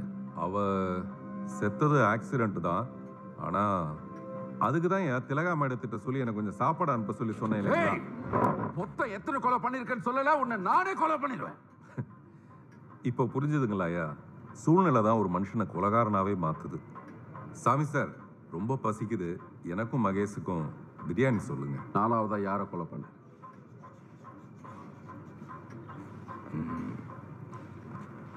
ஐயோ ஒரு ரெண்டரை வருஷத்துக்கு முன்னாடி ஒரு ஏப்ரல் பதினெட்டு அன்னைக்கு குட் ஃப்ரைடேன்னு நினைக்கிறேன். மினிஸ்டர் பெருமாள் சாமியோட தம்பி முருகேசன் அவன் சின்ன வீட்டிலேருந்து வாக்கிங் போகும்போது அஞ்சு நாற்பது மணிக்கு காலங்காத்தால் ஒருத்தன் அவன் கழுத்தை மாஞ்சானுவலால் அறுத்து ஆணுறுப்பில் கள்ள தூக்கி போட்டு நசுக்கி சாவடிச்சிருக்கான். அதுவும் அங்கேருந்த சிசிடிவி கேமராவை வேற பக்கமாக திருப்பி வச்சுட்டு. முக்கியமாக அந்த ஏழாம் நம்பர் ஒத்த செருப்பை தவறி விட்டுட்டு போயிருக்கான். ரெண்டரை வருஷத்துக்கு மேல ஆயிடுச்சு இன்னமும் போலீஸ் கண்டுபிடிக்காத அந்த கொலையையும் நான் தாங்கய்யா பண்ணேன். என்னையா எல்லாரும் ஷாக் ஆயிட்டீங்க? என்னடா? ஒரு மினிஸ்டரோட தம்பியை போட்டு தள்ளிட்டேங்கிற? அதோட விபரீதம் புரிஞ்சுதான் பேசுறியா நீ? அந்த கொலை நடக்கும்போது மினிஸ்டர் வீட்டில் தான் வேலை செஞ்சுட்டு இருந்தேன். ஆமா ஆமா மாசிலாமணி தான் சொல்லுங்க நோட் பண்ணிக்கிறேன். சார். ஸோ ரெண்டாயிரத்தி பதினேழு மார்ச் பத்துல இருந்து ஏப்ரல் இருபத்தி நாலு வரைக்கும் மினிஸ்டர் வீட்டில் வேலை செஞ்சிருக்கேன். ம். ஏன் செஞ்சேன்? இந்த கொலையை செய்யறதுக்காக தான் அங்க வேலைக்கு சேர்ந்தேங்க இந்த கொலைக்கான மோட்டிவ் என்ன? மோட்டிவ்யா அஹ், ஐயா இந்த கேஸில் வந்து என் மேலே ஒரு சார்ஜ் ஷீட் போட்டு கோர்ட்டில் கொண்டு போய் நிறுத்துனீங்கன்னா நடந்த உண்மையெல்லாம் நான் வந்து ஜட்ஜ் கிட்ட சொல்கிறேயா ஆனால் அப்படி செய்யலாமான்னு மட்டும் ஒரு வார்த்தை நீங்கள் கமிஷையா கிட்ட கேட்டுக்கிட்டிங்கன்னா நல்லா இருக்கும்யா.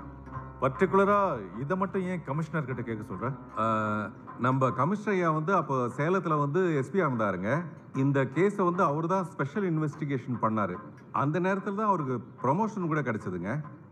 இந்த கேஸை பற்றி பேசும்போது மட்டும் கண்ணில் ஒரு சின்ன டிஃப்ரென்ஸை பார்க்குறேன் அது பசியில் வந்து காதெல்லாம் அடைக்குதியா கண்ணெல்லாம் அப்படியே இருட்டு கட்டுது. ஐயா பர்மிஷன் கொடுத்தீங்கன்னா கொஞ்சம் சாப்பிட்டுட்டு சொல்கிறேங்கய்யா அவனுக்கு சாப்பிட வாங்கி வச்சிருக்கேன்யா அதை அவனுக்கு கொடுத்துட்டு நீங்கள் எல்லாரும் கூட சாப்பிட போங்க. சரிங்க சாமி சார் சாப்பிட வைங்க என்ன மகேஷ் சார்? வெங்கட் நான் கமிஷனர் கிட்ட கொஞ்சம் பேச வேண்டியிருக்கு. தேவைப்பட்டவங்களுக்கு எஸ் சார் கொஞ்சம் எல்லாரும் வெளியே இருங்க. Okay sir hello good evening sir ஆக்சுவலாக மூணு மோடரையும் அவன் தான் செஞ்சான்னு கன்ஃபியூஸ் பண்ணான் சார் ஸோ கேஸை கன்க்ளூட் பண்ணலான்னு வரப்போ திடீர்னு ரெண்டு வருஷமாக பெண்டிங்கில் இருக்கிற மினிஸ்டர் பெருமாள் சாமியோட தம்பி முருகேசனையும் அவன் தான் கொலை பண்ணேன்னு சொல்கிறான் சார் ஆமாம் சார் மோட்டிவ் என்னன்னு கேட்டதுக்கு கோர்ட்டில் வந்து சொல்கிறேன்னு சொல்கிறான் சார் சார் அவன் பண்ணியிருக்கவே மாட்டான்னு எப்படி சார் சொல்கிறீங்க சார் தப்பாக எடுத்துக்காதீங்க சார் நாம் எதுக்கு சார் மினிஸ்டர்கிட்ட பேசி சாரி சார் பேசாம விஆர்எஸ் வாங்கிட்டு போயிடலாமான்னு ஜூசி ஐயா இதே ஒரு போலீஸை வச்சு தான் தேட வேண்டியதாக இருக்கு. பிரியாணியில் பீஸ் எங்கே இருக்குன்னு. சாமி சார் இது என்ன குஷ்காவா இல்லை பிரியாணியா? ஐயா பூந்தமல்லி பிரிட்ஜு கீழே ஒரு ஆட்டோ டிரைவர் டெட் பாடி கிடைச்சிருக்காயா பாடி ரொம்ப டீகம்போஸ் ஆயிருக்கு. அந்த மர்டரும் இவன் பண்ண அதே மெத்தடில் தான் நடந்திருக்கு.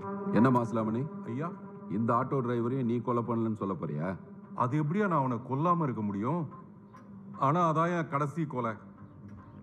இனிமே நான் கொலை பண்ணுறதுக்கு ஒரு காரணமும் இல்லையா அதான் உஷா உயிரோடவே இல்லையே.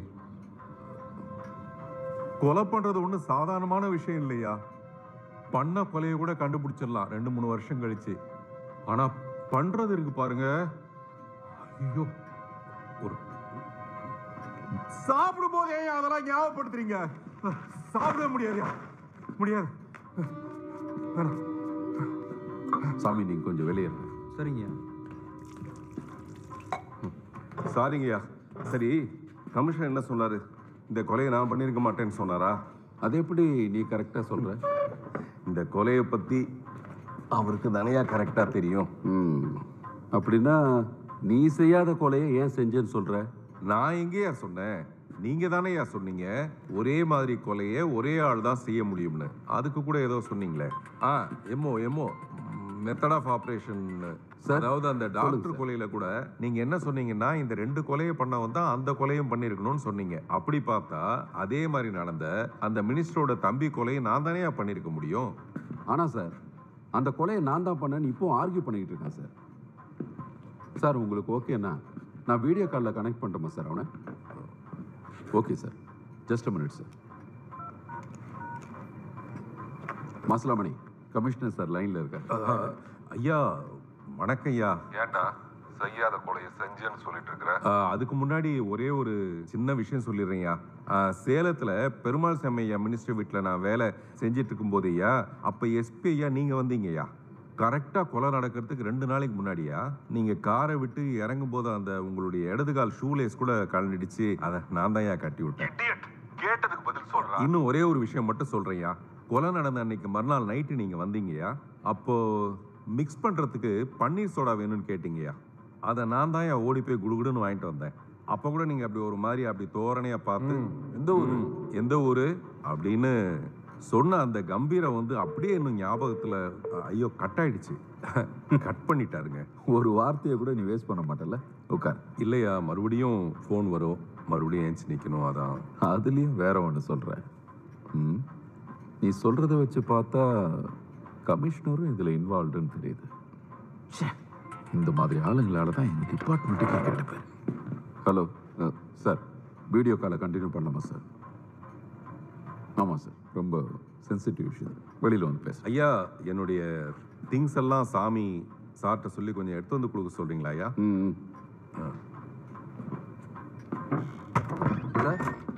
லாக்அப் டெத்தா சார் அவன் பண்ண கொலைகளுக்கு அவன் மேலே சார்ஜ் ஷீட் போட்டு அவனை கோர்ட்டில் ப்ரொடியூஸ் பண்ணணும். அதானே சார் நியாயம்? அதை விட்டுட்டு லாக்அப் டெத்துங்கிறீங்க நோ சார் இது ஹியூமனே இல்லை சார் சார் ஏற்கனவே நானே ரிசைன் பண்ணுற மூடில் தான் சார் இருக்கேன். எது சார்? நீங்களே வந்து ஹேண்டில் பண்ணுறீங்களா வாங்க சார். இவன் பேசுறத பார்த்தா ஒரு மினிஸ்டர் அவன் தம்பியை கொலை பண்ணியிருக்கான் அதுக்கு இந்த கமிஷனரே உடந்தியா இருக்கான். இவனெல்லாம் அடிச்சு சாகணும். சாமி. ஐயா. கமிஷனர் வர வரைக்கும் யாரும் உள்ள வராம பாத்துங்க. சரிங்கய்யா என்னையா இப்படி அப்செட் ஆகி வரீங்க? கமிஷனர் என்ன ரிலீஸ் பண்ண சொல்லிட்டாரா? உங்க சட்டத்துல இருக்கிற ஓட்டையை வச்சுக்கிட்டு பணக்காரனும் பவர்ல இருக்கவன் மட்டும்தான் தப்பிக்கணுமா? கங்காரு மாதிரி ஒரு நோயாளி குழந்தைய சுமந்துட்டு இருக்கிற என்ன மாதிரி ஒரு ஏழை தப்பிக்க கூடாதுங்களா ஐயா? நானும் அதான் யோசிக்கிறேன் மாசிலாமணி இதுல யோசிக்கிறதுக்கு என்னையா இருக்கு? ஒண்ணு எல்லா கொலையும் நான் தான் பண்ணேன்னு என்னை கொண்டு போய் கோர்ட்ல நிக்க வைங்க. அப்ப சம்பந்தப்பட்ட மினிஸ்டரும் இந்த கேஸ்க்குள்ள வருவாரு. அவர் உள்ள போறாரா இல்லையாங்கிறத வந்து கோர்ட்டு தீர்மானிக்கும். இல்ல இந்த எல்லா கொலையும் வேற எவனோ ஒருத்தன் பண்ணான்னு சொல்லிட்டு என்ன ரிலீஸ் பண்ணிடுங்கய்யா ம். சரி நீ சொல்றபடியே உன்னை நான் வெளியில விட்டுறேன்னு வச்சுக்க.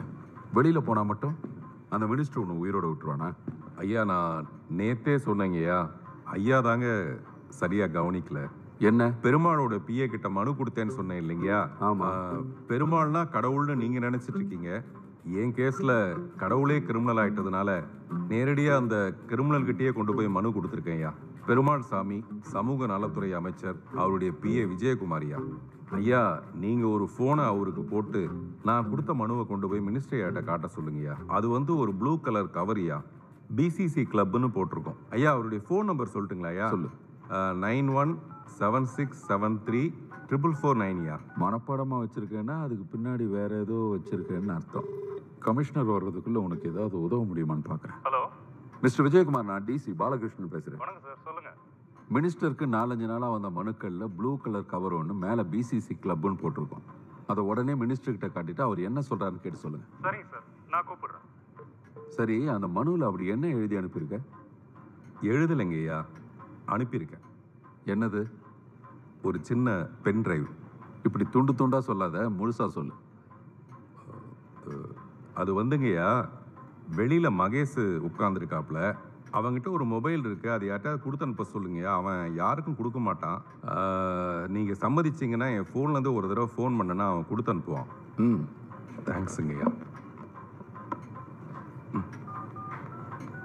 மகேஷ் தோ தோ தோ தோ தோ தோ தோ தோ வந்துட்டேன் தோ வந்துட்டேன் தோ வந்துட்டேன் நீ என்ன பண்ணு?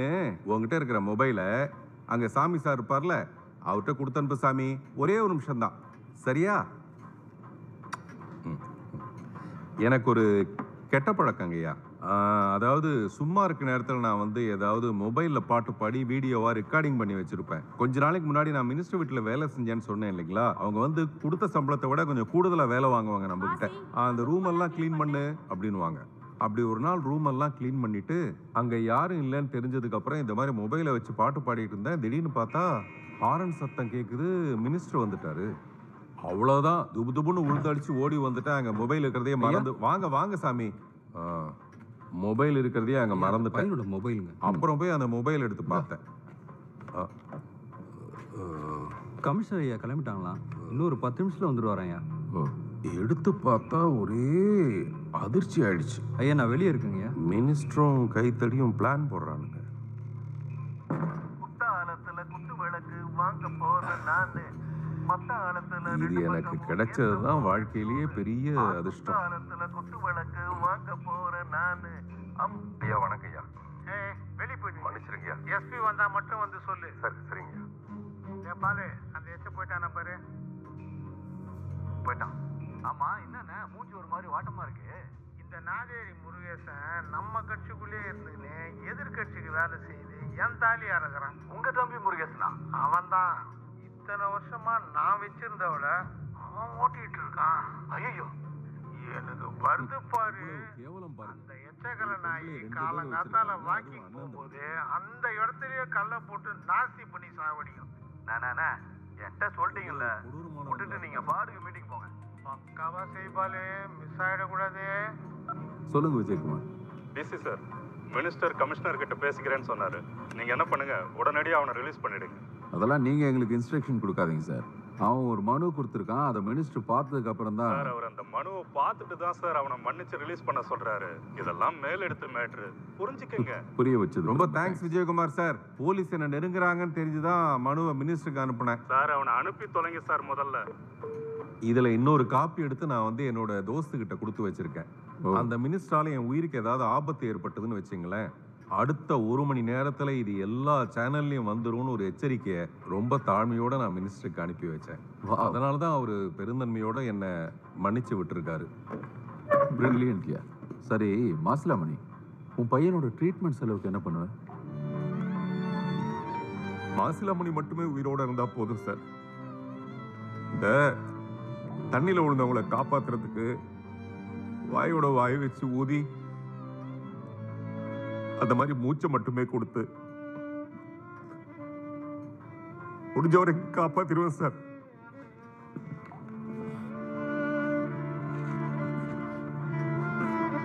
சார்.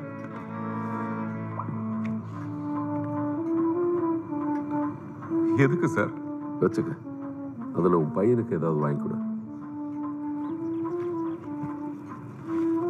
இப்பதான் சார். காந்தியோட சிரிப்புல அர்த்தமே மாறி இருக்கு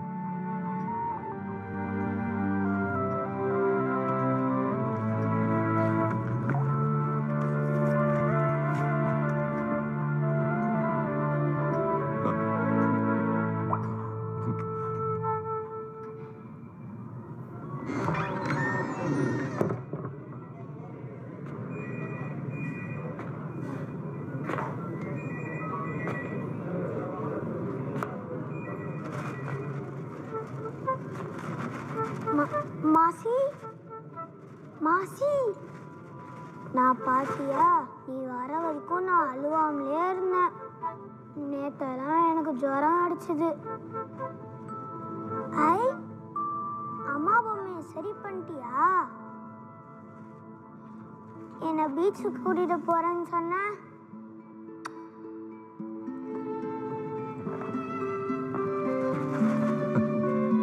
மாசி மம்மி எப்போ வரும்? மம்மி வராது. நாம தான் போகணும் பாஸ்போர்ட்டு விசாலாம் வாங்கிக்கிட்டு. அங்க பீச் இருக்குமா? இதை விட பெரிய பீச் இருக்கும். ஐ அப்ப அங்க நம்ம ஜாலியா உள்ளாமே இப்ப நீ ஒண்ணு மேல் கையெல்லாம் பிடிக்க வேணாம். ஆ. நானே ஒண்டியா விடுவேன். இப்போ நீ என்ன விட இல்லை நல்லா காத்தாடி விடுற? இங்கேயே எவ்வளோ ஹைட்டா விடுற பாரு. ஐயா இதெல்லாம் ஒரு ஹைட்டா நான் ஏரோப்ளேன் நைட்டுக்கு விடுவேன். பார்த்து.